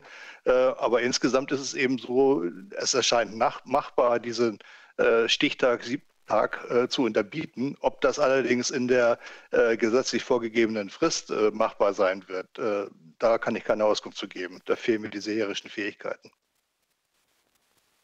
Dann war Dr. Brelo noch angesprochen. Ja, ich bin auch angesprochen worden und ich möchte Ihnen recht geben, wenn wir diesen Gesetzestext, so wie er dort ist, unilateral betrachten, dann kommt das eigentlich von dem Ergebnis eines Exportes Kükentötens gleich.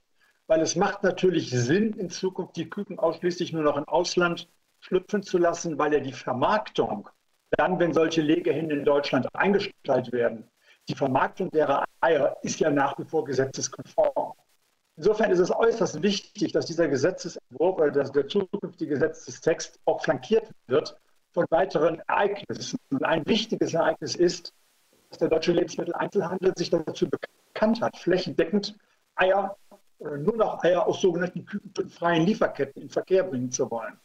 Eine weitere flankierende Maßnahme, die sehr richtig ist, ist, dass der CAT in seiner letzten Vorstandssitzung auch entschieden hat, dass in Zukunft nur noch das CAT-Siegel an solche Eier vergeben werden kann, die eben nach dem deutschen gesetzlichen Standard erzeugt wurden.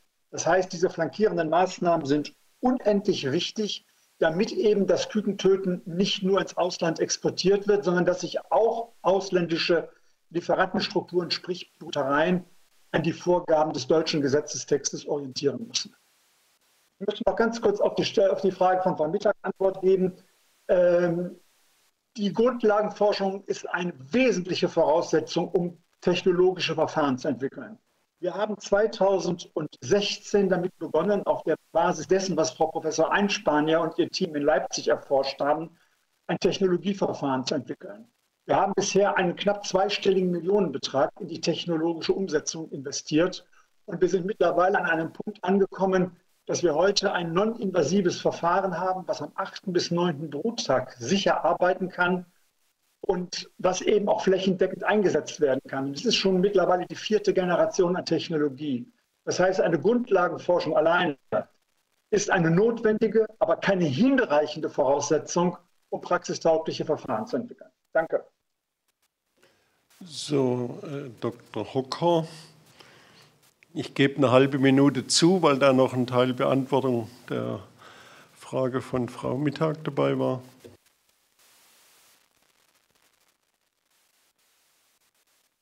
Ach so, das ist sehr freundlich von Ihnen, äh, lieber Herr Vorsitzender. Dann äh, würde ich vielleicht gerne noch mal eine weitere Frage richten an Herrn Brelo. Ähm, und zwar äh, würde ich von Ihnen gerne wissen, welche Erfahrungen Sie mit Blick in Frankreich aktuell machen. Ähm, haben Sie denn die Hoffnung, nach dem, was Sie eben beschrieben haben, dass wir eine europäische Lösung äh, sehen, damit all die äh, Entwicklungen, die Sie eben beschrieben haben, die bei nationalen Alleingängen sozusagen ähm, erfolgen würden, dass man die äh, verhindern kann? Und ich würde äh, ja vielleicht Sie auch noch bitten, wenn ich das darf, äh, vielleicht auch mal eine konkrete politische Empfehlung auszusprechen, äh, wie eine nach Ihrer Einschätzung ethisch korrekte und auch massenmarkttaugliche Lösung zum Beenden des Kükentötens äh, stattfinden kann. Schönen Dank. Sie haben maximal eine Minute, Dr. Brillo. Wie gesagt, eine europäische Lösung wäre der Best-Practice-Ansatz. Ich sehe aber eine europäische Lösung nur dann als zeitnah umsetzbar, wenn sich die mitunter die zwei wichtigsten Länder, Frankreich und Deutschland, einig sind in einer nationalstaatlichen Umsetzung. Ich sehe, dass wir im Moment in Deutschland einen Weg bereit sind zu gehen oder gehen wollen, der in Frankreich so nicht nachvollzogen wird. Und wenn wir allein schon dort unterschiedliche Gesetzgebungsverfahren haben auf der sogenannten deutsch-französischen Achse, wird es sehr schwer sein, daraus eine Blaupause abzuleiten, die im europäischen Kontext dann rechtliches Allgemeingut wird. Ja, wie soll das vernünftigerweise laufen? Natürlich, das Gesetz vom Grundsatz her ist in Ordnung. Es macht überhaupt gar keinen Sinn, die Geschlechtsbestimmungsverfahren ab 2024 zu reglementieren. Die Konsequenz dessen würde heißen, bei nicht vorhandensein technischer Lösungen ab sechsten Tag, dass wir dann nur noch die Bruderhahnmast und Klammer auf das Zwei-Nutzungszoom in Nischenmärkten als Optionen haben. Und wir haben heute ausreichend gehört, dass auch die Bruderhahnmast keine skandalfreie Lösungsmöglichkeit ist. Uns fehlen schlicht und ergreifend die Plätze, um, das, äh, um die Bruderhähne messen zu können. Darüber hinaus fehlt ein Rechtsrahmen, unter dem Bruderhahnmast gemacht werden kann. Wir finden heute eine Varianz von Bruderhahnmast-Initiativen die teilweise wirklich äh, das Potenzial haben, skandalisiert zu werden. Danke. So, jetzt haben wir die Zeit durch und wechseln zur Linksfraktion. Ich vermute, die Frau Dr. Tackmann, die hatten wir. Nein, nein, ich, ich mache das, Herr Vorsitzender. Ah, ja. Kollegin Amira Mohamed Ali, jetzt. Ja. Gerne. Dankeschön. Ich habe, äh, ich habe Fragen an den Tierschutzbund und Frau, Frau Drosset. Sie hatten ja in Ihren Ausführungen schon erklärt, äh, warum Sie der Auffassung sind, dass der Gesetzesvorschlag der Koalition aus Tierschutzsicht unzureichend ist, auch in Bezug auf das Staatsziel Tierschutz. Könnten Sie das noch ein bisschen näher ausführen und hier insbesondere in Bezug auf die Frage, warum Sie der Ansicht sind, dass auch eine Geschlechtsbestimmung im Ei vor dem siebten Tag aus Tierschutzaspekten ähm, unzureichend ist, hier im Hinblick auf das Thema ähm, immer noch Hochleistungszucht, immer noch Massenproduktion, was das eigentlich aus Tierschutzsicht bedeutet. Und meine zweite Frage ist erstmal, ähm, welchen ganz konkreten Handlungsbedarf sehen Sie denn bei den Bruderhähnen, damit das tierschutzkonformer ablaufen kann in Bezug auf Haltung und Schlachtung? Danke. Frau Drosé, Sie dürfen direkt antworten. Dankeschön. Also vielen Dank. Genau, der Gesetzesentwurf ist aus unserer Sicht ähm, zu inkonsequent, insbesondere was eben diese Regelung der Geschlechtsbestimmung im Ei betrifft. Die Bundesregierung hat da ja selber konstatiert, man könne mit fortschreitender Entwicklung des Embryos kaum oder keinen Unterschied machen. Deswegen ähm, wäre ein zeitgleiches Verbot äh, sinnvoll gewesen. Ähm, der Hintergrund ist, ist, klar. Wir haben auch schon heute viel über die Frage der Schmerzwahrnehmung gehört und ähm, ich bin da ganz bei Herrn Dr. Bartels. Ähm, wir haben Informationen darüber, ab, äh, also bis wann ein ähm, Schmerzempfinden ausgeschlossen werden kann. Das ist, um, das ist der siebte Bruttag. Alles andere danach äh, ist sich ein entwickelndes Schmerzempfinden. Also wir wissen, dass ähm, am, zwischen dem sechsten und siebten Bruttag bereits der Embryo auf Reize reagiert. Und das ist ein, ein äh, ernster Hinweis darüber, dass da also auch eine, eine Wahrnehmung oder dass die Voraussetzung für die Schmerzempfindung ähm, sich am entwickeln ist. Und wenn man den Tierschutz an der Stelle ernst nimmt, muss man zum im Zweifel für das Tier ähm, entscheiden. Und das bedeutet, dass also ein Töten der Embryonen ab dem siebten Bruttag verboten werden muss. Das zweite war, das zweite Problem, was wir haben, ist eben diese Ausnahmeregelung, die auch schon heute angeklungen ist, äh, mit der Verfütterung der Küken in zoologischen Gärten. Das ist, äh, würde also zu, einem, zu einer unter Umständen zu einer erheblichen ähm, ja, Aufhebung des Verbotes führen. Und das kann nicht Sinn des Gesetzes sein. Zur Erinnerung, das Bundesverwaltungsgericht hat ganz deutlich gesagt, das Kükentöten widerspricht in fundamentaler Weise dem ethisch ausgerichteten Tierschutz. Und ein vernünftiger Grund besteht dafür nicht. Ähm, letztendlich ist es so, dass wir dass die Systemfrage in dem Gesetz jetzt völlig unberührt bleibt. Die Zucht auf die hohe Leistung hat eben diese schwer messbaren äh, Bruderhähne verursacht und bei den Legehennen und Masthühnern ähm, erhebliche Tierschutzprobleme. Und deswegen ist da eine Kurskorrektur und Etablierung des Zweinutzungshuhn die konsequenteste Lösung. Danke, Frau Und zu Ihrer Frage nach dem, ähm, nach dem Handlungsbedarf bei den Bruderhähnen. Die Bruderhahnmast wird auf jeden Fall jetzt zunehmen, davon ist auszugeben. Und es gibt zwar auch so Initiativen im Biobereich, die die Hähne aufziehen, aber ansonsten fehlen grundsätzliche oder gesetzliche Anforderungen an die Haltung und die Schlachtung. Und die Gefahr ist sehr, sehr groß, dass die Hähne irgendwie irgendwo und möglichst günstig aufgezogen werden und damit einfach Tierschutzprobleme mit verursacht werden. Ähm, es braucht dringend eine Haltungsanforderung, die eben den Bedürfnissen dieser sehr agilen Tiere Rechnung trägt. Also die Tiere brauchen, das sind ja Tiere, die sich eher wie eine Legehenne verhalten. Die brauchen viel Beschäftigungsmöglichkeit, viel Platz.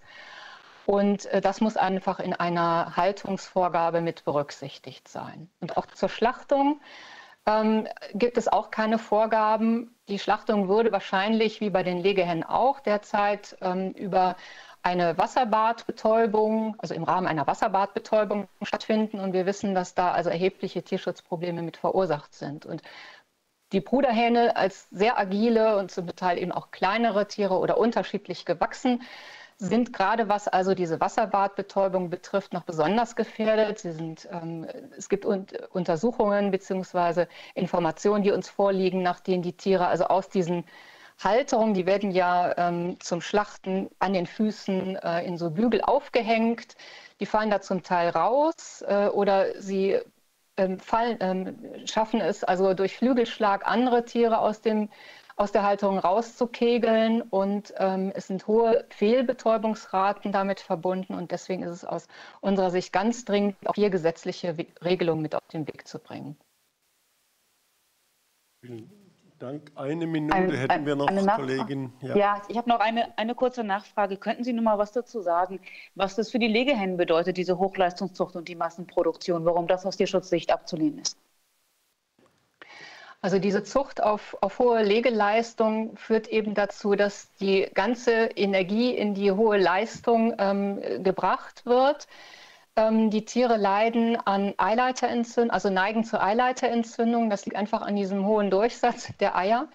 Äh, sie leiden auch an ähm, ja, Knochen ähm, oder Osteoporose. Sie neigen dazu, weil eben das, das Kalzium da sehr aus den Knochen mobilisiert wird für die, für die Eiproduktion. Und ähm, wenn man sich am Ende des, äh, der Legeperiode diese, diese Hennen anschaut, die, sehen wirklich, die sind wirklich durch. Also das ist ein ganz großes Tierschutzproblem. Sie, es gibt auch die, die, das Federpicken, da gibt es auch eine genetische Komponente, die da auch mit reinspielt. Auf der Seite der Masthühner haben wir also diese hohe, ähm, ja, haben wir im Prinzip auch ganz große Tierschutzprobleme, die die Tiere leiden an ähm, zuchtbedingt, dadurch, dass eben so viel Gewicht zu nehmen, an zuchtbedingten äh, Lahmheiten. Also die können kaum, zum Teil kaum mehr laufen, sie lahmen, sie leiden an Herz-Kreislauf-Schwierigkeiten ähm, und äh, letztendlich hat das auch dazu geführt, dass die Elterntiere dieser Masthühner restriktiv gefüttert werden müssen. Das ist ein sehr, sehr großes Tierschutzproblem und eine Rückführung dieser Zucht in, Richtung einer Zweinutzungslinie würde das eben ursächlich ähm, beseitigen. Danke. So, jetzt haben wir die Zeit gut überschritten. Wir kommen zu Bündnis 90 Die Grünen. Da haben wir die Kollegin im Saal, Frau Künast. Ja, danke, Herr Vorsitzender. Äh, das passt vielleicht ganz gut hinter diesen Redebeitrag von Frau Dresé. Ich möchte nämlich Frau Kepler fragen. Äh, wir haben ja jetzt immer über äh, Bruderhain-Mast und die äh,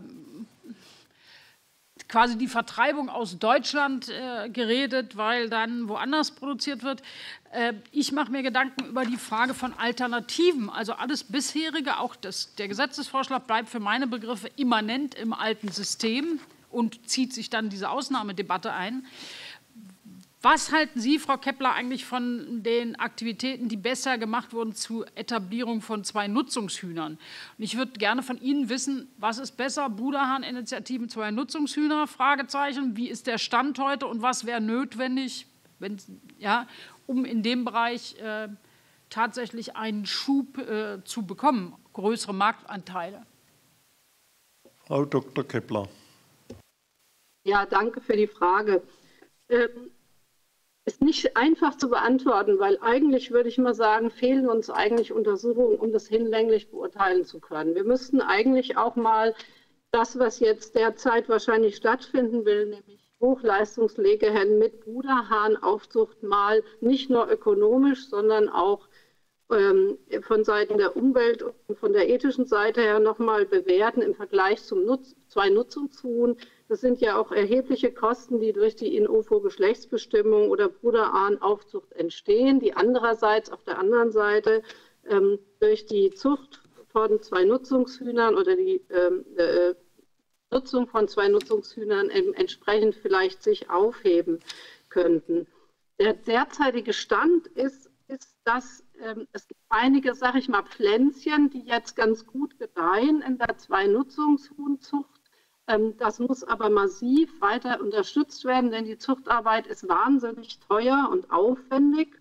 Und äh, ähm, man sollte sich, meiner Preisinger hat da ja auch seine Erfahrungen, ähm, aber für mich steht eigentlich tatsächlich die ökonomische oder und, und auch umweltgerechte Bewertung inklusive der, der tierschutzrelevanten Faktoren bei den Tieren und auch der Umweltfaktoren äh, Klimaschutz zum Beispiel durch die Verwendung von Soja, was eben in Südamerika ähm, produziert wird und ohne dass die Hochleistungslegehennen nicht auskommen und wie wir gehört haben, ja auch die Bruderhähne, das müsste man wirklich eigentlich mal gegenüberstellen und äh, vernünftig bewerten, ähm, um, um hier letztlich Aussagen treffen zu können. Habe ich damit Ihre Frage beantwortet? Ja, ich äh, ja. möchte die Frage weitergeben äh, an Frau Drüse vom Tierschutzbund, äh, was Sie also wie Sie den Vergleich sieht, Bruderhahn-Initiative, zwei Nutzungshuhn und wie denn aus Tierschutzsicht eine Gesamtstrategie aussehen müsste, um da weiterzukommen. Frau Drosset, Sie waren angesprochen. Also die, die Bruderhahn-Mast wird, wird, die wird kommen. Ich höre jetzt ganz viele Störgeräusche, das ist ein bisschen irritiert. Ähm, genau, also die Bruderhahnmast wird kommen. Ich glaube, dass man das jetzt gar nicht so extrem fördern müsste. Wichtig ist einfach die gesetzlichen Grundlagen an die Haltung und, und die Schlachtung sicherzustellen, damit man da nicht in, in weitere Tierschutzprobleme reinrutscht. Ähm, die, die, das Zweinutzungshuhn wird sicher Kosten erhöhen, weil einfach die, die naturgemäß ähm, die, die Legeleistung geringer wäre und die Mastleistung auch. Also die Produkte würden sich verteuern.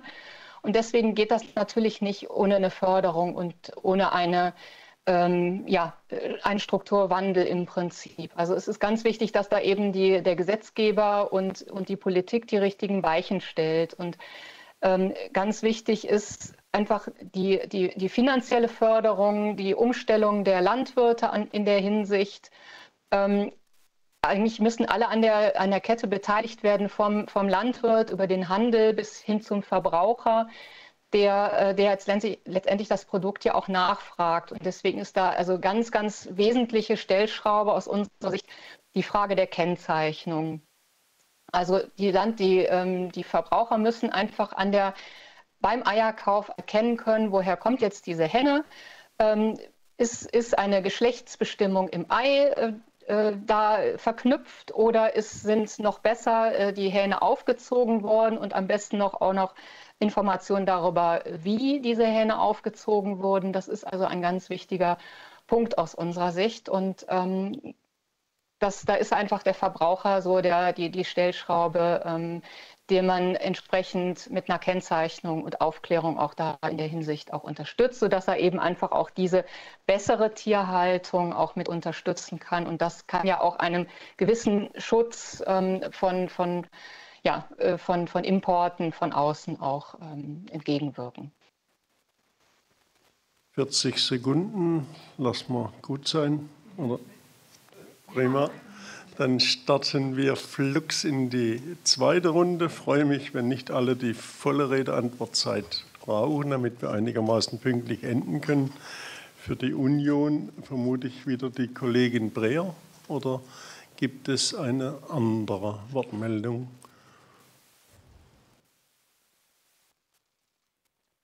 So, also wenn sich sonst keiner meldet, dann mache ja, ich es. Bitte. Ja, vielen Dank ähm, auch für Ihre bisherigen Einlassungen. Ähm, ich habe jetzt doch noch mal ganz kurz eine Nachfrage. Frau Drossi, Sie haben gesagt, es gibt ähm, tierschutzimmanente Probleme ähm, im Bereich der Betäubung und hohe Fehlerquoten bei, äh, bei der Schlachtung der Bruderhähne.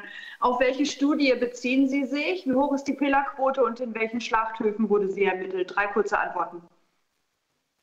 Frau Drosset. Ja, also das sind keine Studien. Das ist also die, die Schlachtung der Bruderhähne fängt ja jetzt erst gerade an. Das, das, also, das sind ähm, äh, ja, das sind Berichte aus dem BSI, die uns da zur Verfügung gestellt wurden. Das sind also mehr Einschätzungen als tatsächlich Studien. Studien wären da ganz sinnvoll. Also da sprechen Sie was sehr Wichtiges an, dass man das also mal ganz konkret anschaut und auch untersucht. Aber das sind im Prinzip äh, diese Informationen, die uns vorliegen, sind also Beobachtungen und Bewertungen des BSI, das ja also für, für das Schlachten da also eigentlich die, die Ansprechpartner sind. Und die sagen einfach, dass, äh, dass da ähm, ganz große Dinge im Argen sind, weil einfach äh, die, die Schlacht ähm, oder diese äh, Wasserbadbetäubung auch für diese Tiere noch gar nicht angepasst sind. Okay, vielen Dank. Okay. Dann aber tatsächlich nochmal zurück zur Sache. Ähm, Herr, Herr Bartels, vielleicht können Sie noch mal ausführen ein bisschen was zur Thematik Futterküken aus Ihrer Sicht. Ähm, wie viele brauchen wir in Deutschland? Ähm, gibt es die Möglichkeit, es aus Ihrer Sicht es auf Deutschland zu beschränken? Also nicht, dass wir die Futterküken von hier aus äh, dann nach Europa exportieren im Zweifel. Und äh, bei wie viel, also wie viele brauchen wir tatsächlich? Also nicht die absolute Zahl, wie Herr Fischer ähm, sie ausgeführt hat, auch in seiner Studie, äh, wie sie verfüttert werden, sondern wie viele Tiere sind wirklich physiologisch darauf angewiesen, ähm, eben diesen Ganzkörper ähm, des, des äh, Kükens als Futtertier zu gebrauchen. Dr. Bartels, bitte. Ja, also vielleicht zur letzten Frage. Mir ist keine Tierart bekannt, die zwingend auf die Fütterung mit Eintagsküken angewiesen wäre. Und so sind eigentlich alle Zahlen, die bislang kursieren, in Hochrechnung, Form von Hochrechnungen und Stellungnahmen, die beziehen sich auf den Verbrauch von Futterküken, aber nicht auf den tatsächlichen Bedarf. Denn vieles, was äh, gegenwärtig über Futterküken abgedeckt wird, ließe sich auch über äh, andere äh, Geflügelteile, zum Beispiel auch die, die nicht unbedingt für den menschlichen Verzehr geeignet sind, abdecken. Die ließen sich durch Insekten abdecken. Und es wäre sicherlich zum Teil auch notwendig, dann äh, das, was ohnehin schon passiert, es ist vorhin auch schon kurz angesprochen worden, dass eben Futtertiere gezüchtet werden, Ratten, Mäuse, Meerschweinchen, Kaninchen, Hühner, Tauben, Zebrafinken und so weiter, möglicherweise auch in verstärktem Maße verfüttert oder gezüchtet und äh, zur Verfütterung äh, werden müssten. Äh, das gilt es allerdings mal äh, in einer sorgfältigen Analyse abzudecken, was tatsächlich an Bedarf da ist und was eigentlich nur aufgrund der Tatsache, weil eben Frostküken ungefähr ein Fünftel des Preises zumindest im Einzelhandel darstellen, wie gleichalte, gleich schwere Mäuse oder gleich schwere Mäuse, gleich alt nicht, gleich schwere Mäuse, was tatsächlich notwendig ist. Vielleicht nochmal so ein kurzes Beispiel für den Privathälter. Zehn Frostküken erhalten Sie im Internet für 2,28 Euro, zehn Frostmäuse für 12,88 Euro. Das ist schon ein erheblicher Unterschied.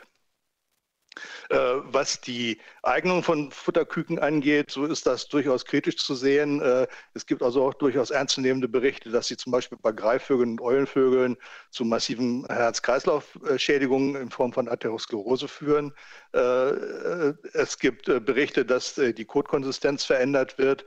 Und äh, vieles wird man wahrscheinlich auch noch gar nicht so äh, entsprechend analysiert haben, äh, sodass man hier eigentlich keine abschließende Auskunft geben kann. Also Fazit ist im Grunde genommen, die Tiere sind in großer Menge verfügbar, also die Futterküken, sie sind preiswert, aber ob eine Verfütterung in dem Umfang, wie sie gegenwärtig passiert, wirklich bedarfsangebracht ist, das ist eine andere Frage.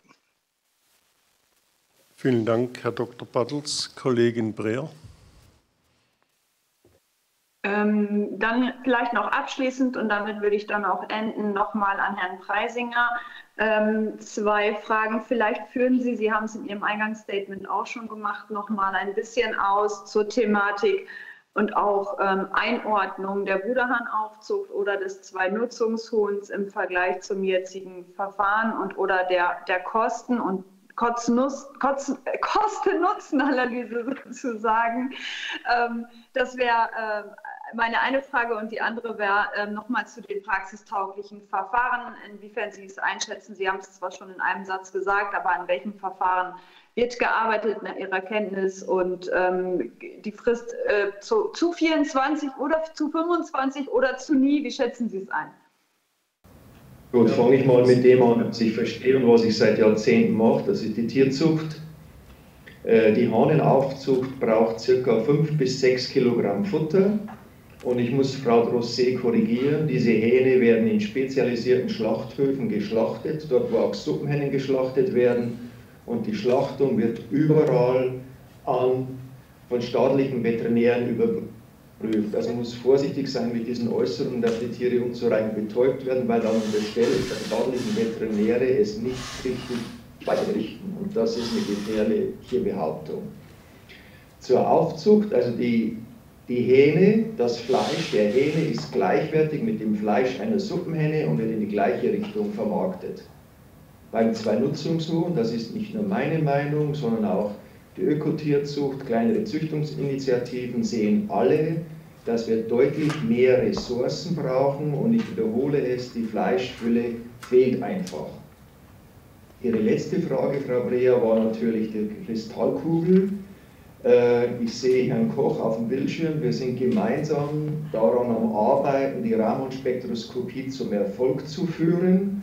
Aber wie es Herr Koch bereits schon gesagt hat, erstens kann das immer schneller gehen und zweitens können wir beide jetzt nicht verbindlich sagen, wann wir Maschinen haben, die den Hochdurchsatz schaffen. Ich möchte den Zuhörerinnen und Zuhörern nur eine Größenordnung geben. Wenn Sie 50 Millionen Legehennen haben, dann müssen Sie jede Woche eine Million neue Legehennen remontieren. Und das bedeutet, dass pro Woche 2,5 Millionen Embryonen, sei es mit Select, sei es mit Raman-Spektroskopie, untersucht werden. Bitte nehmen Sie die Zahl mit nach Hause. 2,5 Millionen Bruteier jede Woche, um nur die Eier für die deutschen Hühner. Wenn wir aber den deutschen Eierkonsum nehmen, Herr Schönecke hat es gesagt, kommen wir an 60 oder 70 Millionen, dann müssen wir pro Woche drei bis vier Millionen Bruteier auf Geschlecht sortieren. Bitte behalten Sie das im Hinterkopf und deshalb kann ich als Wissenschaftler nicht realistisch sagen, wann das flächendeckend umsetzbar ist. Und somit bleibt als große Lösung überwiegend nur die Aufzucht der Hähne mit all ihren Nachteilen. Vielen Dank, Herr Professor. Damit wechseln wir zur SPD. Ich nehme an, die Kollegin Mittag macht weiter. Ja, herzlichen Dank. Ich habe mehrere Fragen an Herrn Dr. Fischer. Ist er noch da, ja, ne? Herr Fischer? Ich hoffe. Ja, der ist da. Ja, wunderbar. ähm, in Ihrem Bericht steht ja drin, Sie haben mal so überschlagen, wie viel man denn bräuchte. 31 Millionen Futterküken, das ist ja eine Menge da wird einem ja so ein bisschen schwindlig. Aber vielleicht davon ausgehend, dass es sozusagen erst die Futterküken gab und sich natürlich der Markt enorm erweitert hat, weil die Futterküken natürlich günstig da waren. Obwohl derzeit steigen die Preise in Angesicht eines kommenden Gesetzes offensichtlich schon ganz massiv. Die Futterküken werden teurer. Die Menge ergibt sich also, weil Küken da waren und ähm, ja, kein Tier lebt in der Wildbahn nur von Küken, aber Sie haben in Ihrem Bericht geschrieben, einige sind, für einige ist es zwingend erforderlich. Da hätte ich gerne die Frage, warum eigentlich? Das hat was mit der Zusammensetzung des Kükens wahrscheinlich zu tun, aber warum? Und dann, welche wären das eigentlich? Also in dem Gesetz steht drin, glaubhaft soll dargelegt werden, äh, wenn das notwendig ist. Wie kann das glaubhaft dargelegt werden? Welche Tiere bräuchten das nach Ihrer Auffassung? Sie haben ja viel Erfahrung. Und wie kann sowas dann überhaupt festgelegt werden? Herr Dr. Fischer. Ja, vielen Dank. Ja, vielen Dank. Also ich ähm, man muss einerseits festhalten, dass die meisten, das habe ich in meiner schriftlichen Stellungnahme auch noch mal eingehend äh, erläutert, dass die meisten von uns gehaltenen exotischen Heimtiere auf eine Ganzkörperfütterung äh, angewiesen sind. Dementsprechend ähm, gebe ich dem Herrn Bartels recht, dass es in manchen Fällen sicherlich nicht das Hühnerküken an sich sein müsste, aber bei vielen aviären Prädatoren muss es ein Vogelküken sein, was wir aus anderen Quellen aktuell eben nicht beziehen können. Also es gibt einige, die habe ich auch in meiner Stellungnahme nochmal aufgeführt. Beispiele aus unserer heimischen Fauna wäre der Sperber oder auch der Wanderfalke, die sich in der Natur ausschließlich von Vögeln ernähren und eine Zusammensetzung des Proteins ist beim Vogel eben anders, als es beim Säugetier ist. Das ist die eine Sache. Das heißt also, wenn wir über einen Ersatz nachdenken würden, müssten wir einfach Tierkörper anderer Tiere dafür heranziehen. Und wir haben jetzt hier viele Spekulationen gehört. Es gibt eine Rechnung, die ist in der von mir zitierten Arbeit von Bockner und Leenstra aufgestellt in Holland, was erforderlich wäre zum Ersatz von den dort produzierten Hühnerküken. Und die geben an, dass für 40 Millionen ähm, Küken, wenn man die ersetzen wollte durch Säugetiere, also Ratten und Mäuse, die werden genauer aufgeführt, dass man also insgesamt äh, über 80 Millionen Individuen dafür heranziehen müsste. Und was ich noch mal eingangs betonen muss, Sie müssen immer bedenken, diese Zusammensetzung des geeigneten Futtertieres haben wir direkt am ersten Schlupftag. Das heißt, das Tier kann sofort verfüttert werden. Und bei allen anderen Tieren haben Sie eine lange ausführende Aufzuchtmethode. Und die äh, vom Herrn Bartels zitierte Studie mit der Arteriosklerose, da möchte ich noch einmal sagen, das ist eine einzige Studie, die aufgekommen ist. Und andere Tiere, die beispielsweise sehr häufig Arteriosklerose haben, sind Nymphensittiche und Graupapageien, die meines Wissens überhaupt gar keine Hühnerküken fressen. Und dementsprechend wird auch eingangs von diesen ähm, ähm, Autoren gesagt, dass es sehr, sehr viele verschiedene Gründe gibt. Und das das Eintagsküken, die Fütterung mit Eintagsküken ist hier als eine Methode diskutiert worden. Das heißt also zusammenfassend, äh, aus verschiedenen Tiergruppen gibt es Tiere, die auch bei uns im Zoo, wo wir halt eben nicht auf, äh, drauf schauen müssen, äh, dass wir jetzt hier möglichst günstiges Futtertier einkaufen, sondern wir wollen das bestgeeignete Futtertier dort ähm, halt eben einkaufen für unsere Tiere, dass dort die Küken ein elementarer Bestandteil sind für die Ernährung von Zootieren insbesondere für die Tiere, die eben avivor sind, die rein avivor sind, aber eben auch zur Komplementierung der omnivoren Tiere, die eben in der Natur auch teilweise Vogelküken fressen, die wir nicht aus anderen Quellen beziehen können. Und äh, zu Ihrer Frage mit der mhm. finanziellen Sache, ich stimme Ihnen vollkommen zu. Das Problem ist doch, was wir haben, dass wir billigend in Kauf nehmen, dass Tiere ohne vernünftigen Grund getötet werden. Das, das, muss auf jeden Fall verboten werden. Aber das äh, Futterküken als äh, äh, Nahrungsmittel zu nehmen, ist ein vernünftiger Grund. Und natürlich kann man da auch die Preise äh, anheben. Das ist doch absolut in Ordnung und ist absolut legitim und sollte in meinen Augen zur Wertsteigerung des Kükens auch erfolgen. Äh, ja, ergänzend dazu, also in welchem Volumen wäre das denn dann? Sie haben jetzt so einige, Teil, äh, einige Tiere aufgeführt. Also Sie gehen jetzt von der Auflistung von 31 Millionen um, äh, aus, laut Ihrem äh, Bericht. So, für einige ist es zwingend erforderlich. Sie hatten die Bereiche, also unterschiedliche Bereiche auch noch aufgeführt. Für welche Bereiche wäre es denn nach Ihrer Ansicht zwingend erforderlich? Es kann ja nicht angehen, dass wir immer noch 31 Millionen, brauchen ja gar nichts ändern. Äh, dann ist das in dem Volumen wie eh und je. Und äh, welche Bereiche wären zwingend erforderlich? Also ich ähm, würde sagen, im Bereich der meisten zoologischen Gärten die also eine äh, breite ähm, gemischte Tierpopulation dort haben. Da würde ich davon ausgehen, dass das jetzt durch biologisch strukturierte Futterpläne bereits äh, ein, ein äh, Maß äh, angenommen hat, was man ohne weiteres nicht nach unten korrigieren kann. Ähm, wenn wir über Bereiche der Falknereien nachdenken, gibt es sicherlich ein paar Vögel oder auch der, ähm, der Reptilienhaltung gibt es sicherlich einige Tiere, wo man auch das eine oder andere Nagetier als Futtertier beziehen könnte, ersatzweise. Aber nochmal, da müssen wir uns wieder ähm, Gedanken darüber machen, dass diese Tiere mindestens vier bis sechs Wochen irgendwo gehalten werden. Und da weise ich, verweise ich nochmal auf ähm, die Tierärztliche Vereinigung für Tierschutz. Die hat 2011 bereits ein Papier herausgegeben zur Verfütterung von Kleinsäugern, die ja als Alternative herangezogen werden könnten. Und die geben eingangs bereits als, als Grund für diese Stellungnahme an, dass es erhebliche Tierschutzprobleme ähm, bei der Tötung von Kleinsäugern aktuell schon gibt. Und ich möchte mir nicht ausmalen, wie das aussieht, wenn wir durch diese Situation, dass eben das Futterküken nicht mehr äh, zur Verfügung steht, einen Markt kreieren, der eventuell auch außerhalb ähm, unserer Kontrollmöglichkeiten und unseres Tierschutzgesetzes dazu führt, dass da eben vermehrt dann Tiere auch eventuell unter widrigen Bedingungen gezüchtet werden. Habe ich noch eine? Noch eine Minute. Eine maximal. ganz kurze Frage. Ja gut, Sie kommen aus dem Zoo äh, und das Volumen sind 20 Millionen. Und wenn da weniger, wenig reduziert werden kann, dann sind wir schon bald, also dann, dann ist es ja nicht effizient. Es ist vorhin auch mal gesagt worden, zum Beispiel Geflügelteile äh, kann man auch nehmen. Wir haben noch Innereien, wir haben noch andere Varianten. Es kann auch zugefüttert werden. Also ähm, in welchem Rahmen, und da ist jetzt Ihre Fantasie angesprochen, kann auch der Bereich der Zootiere, es ist eine einfache Fütterung, aber wir haben ein Urteil, was wir umsetzen wollen.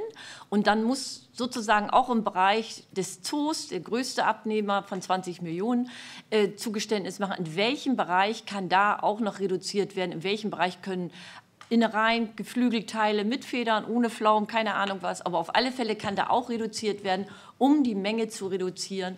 Ansonsten äh, kann es ja genauso weiterlaufen wie vorhin. Das wollen wir ja nicht. Jetzt hat die Kollegin mit ihrer Frage die Zeit eigentlich aufgebraucht. Ganz kurz, Herr Fischer. Ja, ich denke, es kommt auf die Körpergröße der Tiere an. Bei den kleineren Tieren, wo wir eben eine Ganzkörperfütterung brauchen, wird es wahrscheinlich nicht so leicht möglich sein. Bei den größeren Tieren könnte man sicherlich über eben dann tageweise Ersatz bis hin zu mehrere Tage die Woche äh, nachdenken, wenn das gewünscht ist. Also dementsprechend könnte da äh, eventuell auch auf äh, andere Produkte äh, eingewiesen werden, wenn das nicht an die ernährungsphysiologischen Grenzen stößt. Vielen herzlichen Dank. Damit kommen wir zur AfD, der Herr Butschka. Danke, Herr Vorsitzender. Meine Frage richtet sich zuerst schon an Brelo. Und wenn ich dann noch Zeit habe, würde ich gerne an Herrn Schönecke noch was fragen. Äh, die Bundeslandwirtschaftsministerin hat ja kürzlich in Brüssel eine verpflichtende Haltungskennzeichnung für verarbeitete Eier gefordert. Das ist aus unserer Sicht ein sehr wichtiger und ein guter erster Schritt, weil bei einem reinen nationalen Verbot des Kükentötens ja weiterhin Eier, Küken, ähm, Junghennen, Eierprodukte aus anderen Ländern importiert werden würden, in denen das Kükentöten dann weiterhin erlaubt ist. Das wären aus unserer Sicht starke Wettbewerbsnachteile für die heimische Landwirtschaft. Wahrscheinlich würden vielleicht sogar der ein oder andere aus der Branche aufhören oder ins Ausland abwandern. Jetzt, Herr Dr. Brelo, die Rewe-Gruppe bietet ja schon seit 2019 unter dem Label Respekt äh, Eier an, bei denen das Kükentöten durch die Geschlechtsbestimmung nach dem Select-Verfahren äh, vermieden wurde. Haben Sie Kenntnis über die Verbraucherakzeptanz der, kükenfreien, äh, der kükentötungsfreien Eier und wenn ja, welche? Dankeschön. Dr. Brillo. Ja, zunächst mal zu Ihrer ersten Frage. Haltungskennzeichnung für Eier für verarbeitete Lebensmittel natürlich absolut notwendig und begrüßenswert. Äh, genauso wie es auch schon vor den vorhergehenden Einlassungen zu hören war, auch eine Kennzeichnung, ob und wie ein Ei vom Kükentöten befreit wurde, halte ich für absolut relevant und notwendig. Die Verbraucherverbände haben sich ja hier zu Ende des letzten Jahres, Anfang dieses Jahres ausreichend äh, geäußert. Also das ist ein absolut richtiger und wesentlicher Weg. Wenn wir jetzt auf die Rewe Group zu sprechen kommen, ähm, ja, ich sage mal so, ich kann nicht stellvertretend für die Rewe Group hier etwas sagen, aber ich kann Ihnen meine Einschätzung über das Marktgeschehen äh, mitteilen. Ja, es ist richtig, dass die Rewe Group schon seit 2019 flächendeckend sogenannte Respekteier anbietet. Mittlerweile werden in über 6000 deutschen Supermärkten Discountern Eier von Respekthennen angeboten. Wir haben mittlerweile etwa 4 Millionen Legehennen in der Produktion, die mittels des Select-Verfahrens vom Kükentöten befreit wurden.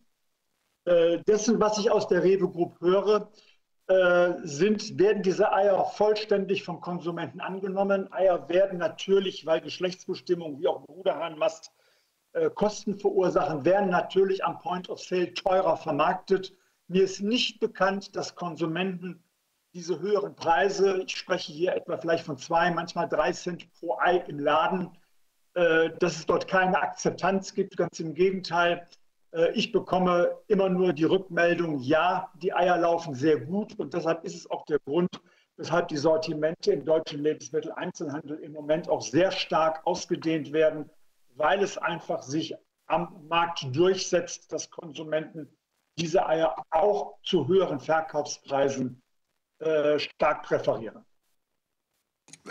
Kurz, kurze Nachfrage noch schnell kurz, Herr Dr. Brillo.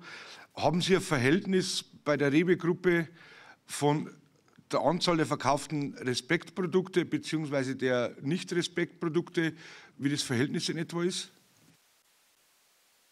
Ja, wie es jetzt sich im Moment aktuell darstellt, kann ich nicht ganz genau hundertprozentig sagen. Ich kann mich nur auf das beziehen, was die Rewe Group geäußert hat. Die Rewe Group wird bis zum Ende dieses Jahres ihre gesamten Eigenmarkeneier umgestellt haben auf kükentötenfreie Lieferketten. Hier spielt federführend die Geschlechtsbestimmung im Brutei eine wesentliche Rolle. Es werden auch Bruderhahnmastverfahren äh, umgesetzt. Man wird sich auch zukünftig mit der Frage der zwei Nutzungshühner möglicherweise nur in Nischenmärkten auch dort beschäftigen. Also wie gesagt, Ende dieses Jahres, so sind die aktuellen Verlautbarungen aus der Rewe Group oder zum Jahreswechsel werden alle Eigenmarkeneier umgestellt sein auf kükentötenfreie Lieferketten. Dankeschön. Um Zeit zu sparen, werde ich meine Frage an Herrn Schönecke schriftlich per E-Mail schicken. Danke. Prima, dann freuen wir uns und kommen jetzt zur FDP. Ich nehme an, Kollege Dr. Hocker.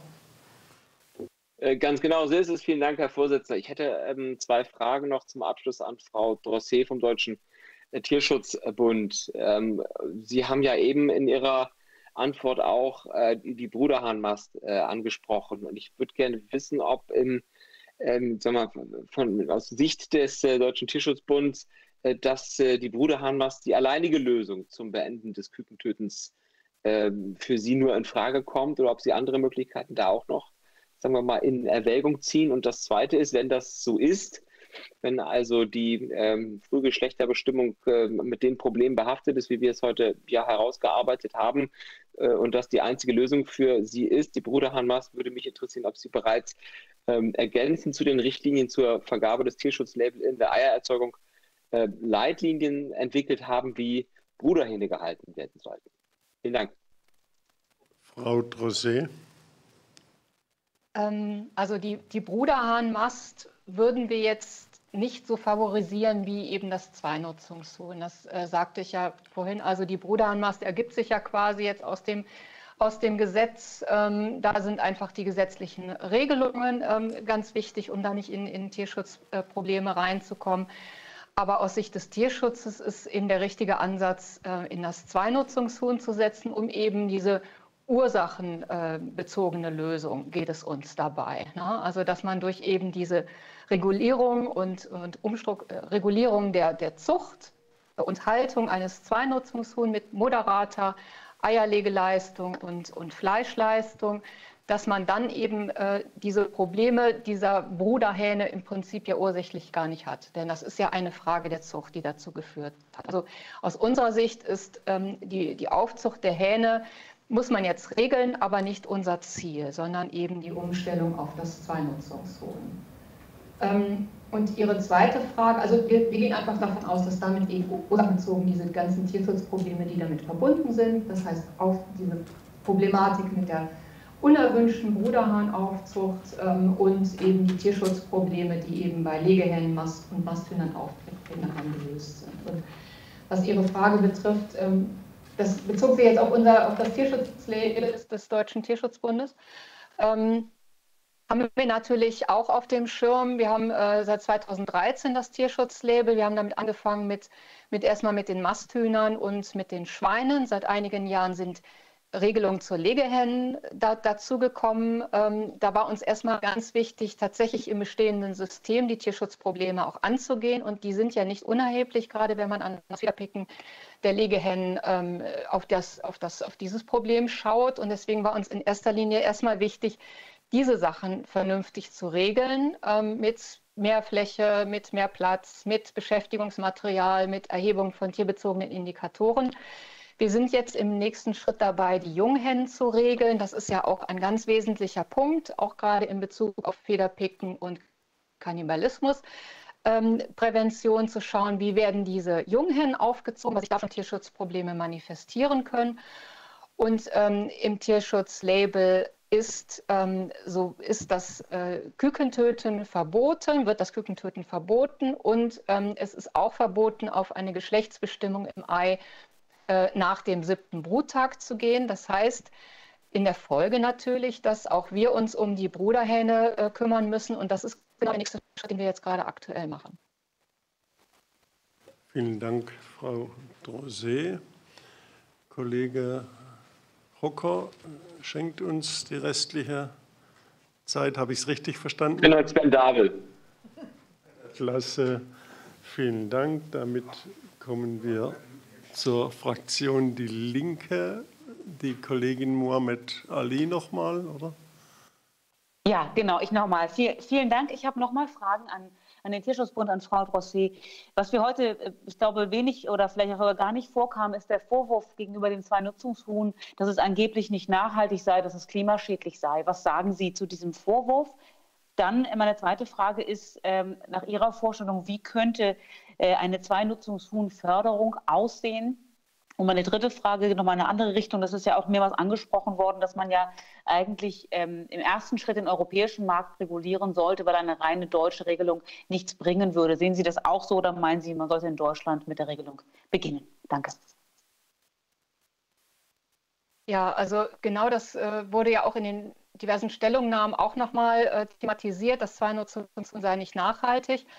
Ähm, also diese Frage oder die Diskussion impliziert ja eigentlich, dass die bisherige Praxis nachhaltig und, und klimaschonend sei. Das ist aber einfach nicht richtig. Also weder die Hochleistungszucht mit den genannten Tierschutzproblemen ist nachhaltig, noch die Intensivtierhaltung ist nachhaltig, auch nicht die Futtermittel. Wir haben auch äh, ne, von den Sojaimporten aus, aus Übersee gehört die Transport, Tiertransporte, es ist alles nicht nachhaltig und die tierische Erzeugung ist es ja selbst auch nicht. Ähm, also es ist wesentlich nachhaltiger, sich vegetarisch zu ernähren, als äh, auf, auf tierische Lebensmittel zu setzen. Und das erkennt auch die EU äh, in ihrer Nachhaltigkeitsstrategie an, die also ganz, ganz klar sagt, es ist äh, eine Notwendigkeit, den Fleischkonsum zu reduzieren und pflanzliche Proteinquellen zu fördern. Und aus unserer Sicht muss auch die Landwirtschaft da in dieser Hinsicht, also wenn man von Nachhaltigkeit sprechen will, auch ihren Beitrag zur Reduktion von Treibhausgasen leisten. Und das geht auch nur mit drastischer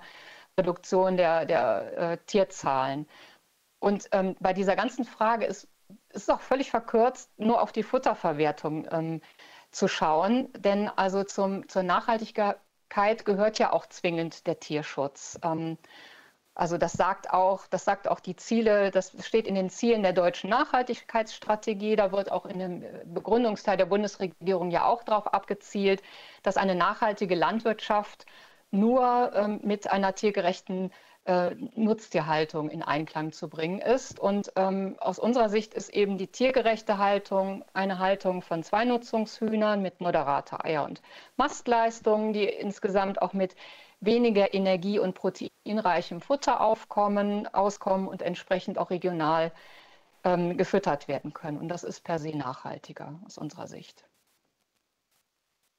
So, das war die eine Frage. Dann, genau. Ähm, ah, die, die, die Frage der Förderung. Also im Prinzip hatte ich das, glaube ich, schon gesagt. Also klar werden die Kosten ähm, sich erhöhen und das geht auch nur, wenn eben ähm, alle an einem Strang ziehen von Politik, äh, Verbraucher oder andersrum vom, vom Landwirt über Handel und Verbraucher und dass da also aus unserer Sicht ganz wesentlich eben eine, wirklich eine Förderung von Landwirten und Förderung dieser Strukturen beinhaltet ist und eben auch ganz klar eben die Kennzeichnung, die hier auch mehrfach angesprochen wurde, ist ein, eine ganz wesentliche Stellschraube ist, um tatsächlich auch etwas auf den Weg zu bringen und ähm, die Dinge zu befördern. Und ich glaube, Ihre letzte Frage war die, die europäische Lösung. Also da sehen wir aus, aus ähm, tatsächlich Deutschland auch in der Pflicht. Ähm, das ist eine nationale Aufgabe, der äh, die, die Gesellschaft verlangt, Tierschutzverbesserung. Und wir sind hier durch, durch das, den Tierschutz in der Verfassung auch ähm, in der Pflicht. Ähm, die, die Regierung will eine Nutztierstrategie auf den Weg bringen, die mit Leben gefüllt werden muss. Und wir haben die Urteile des, des, Bund, der, des Bundesverwaltungsgerichtes. Ähm, deswegen ist eine nationale Lösung erstmal erforderlich. Im zweiten Schritt ist sicher, ähm, muss man auf, auf ähm, europäische Lösungen gehen. Das ist ganz wichtig. Und ähm, wenn man hier ein gutes Konzept hat, gute Strategien, gute Gesetzgebung, ähm, kann man auch Dinge äh, auf europäischer Ebene anträgern und befördern. Danke.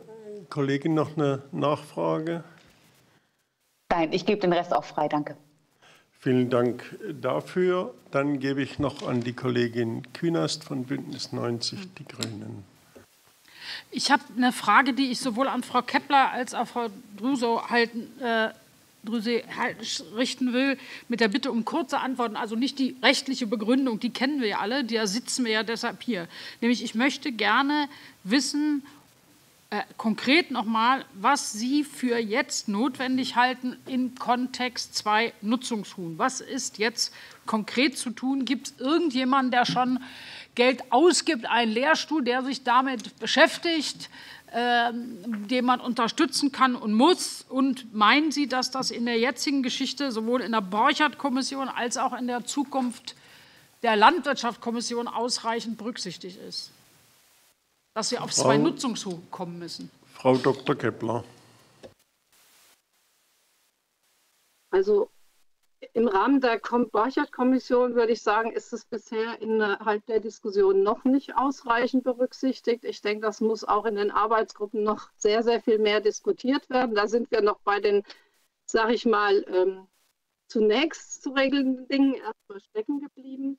Ähm, äh, wichtig ist, es gibt Lehrstühle, also zum Beispiel äh, die Uni Bonn, die sich in Projekten mit dem Zwei-Nutzungshuhn beschäftigen, aber gleichzeitig ähm, gibt es natürlich auch zum Beispiel die Ökotierzucht, die jetzt schon in der vierten Generation auch zwei Nutzungstiere züchtet, wo ich zum Beispiel auch an der Zuchtwertschätzung beteiligt bin.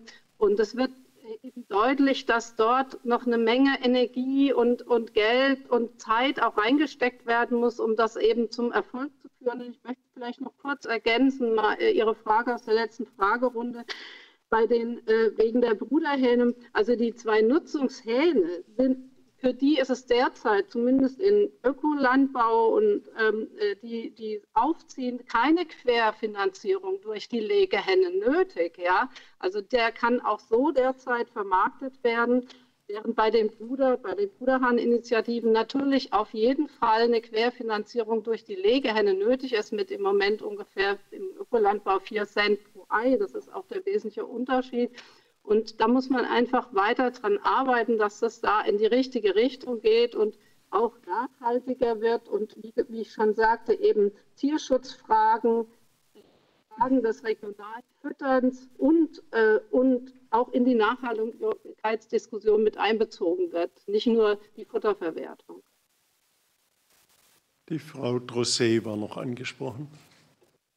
Mm, ja, kann ich gar nicht viel ähm, ergänzen. In der Tat, also ähm, die Borchert-Empfehlungen haben da ja eigentlich eine relativ klare Sprache gesprochen, dass man auch äh, ökonomische Nachteile in Kauf nehmen müsse. Ähm, und äh, also in Bezug auf die Bruderhahnmast und die Zuchtziele anpassen müsse in Richtung Zweinutzungshuhn ähm, in den bisherigen Agilen, das hat Frau Kepler auch gerade angesprochen, ist, ist, ist diese Frage leider noch nicht adressiert. Da haben wir uns also erstmal mit, mit, mit den Grundlagen der, der Masthühnerhaltung und der Legehennhaltung befasst, also zu diesem wichtigen Thema noch gar nicht wirklich gekommen. Ich hoffe sehr, dass das passiert.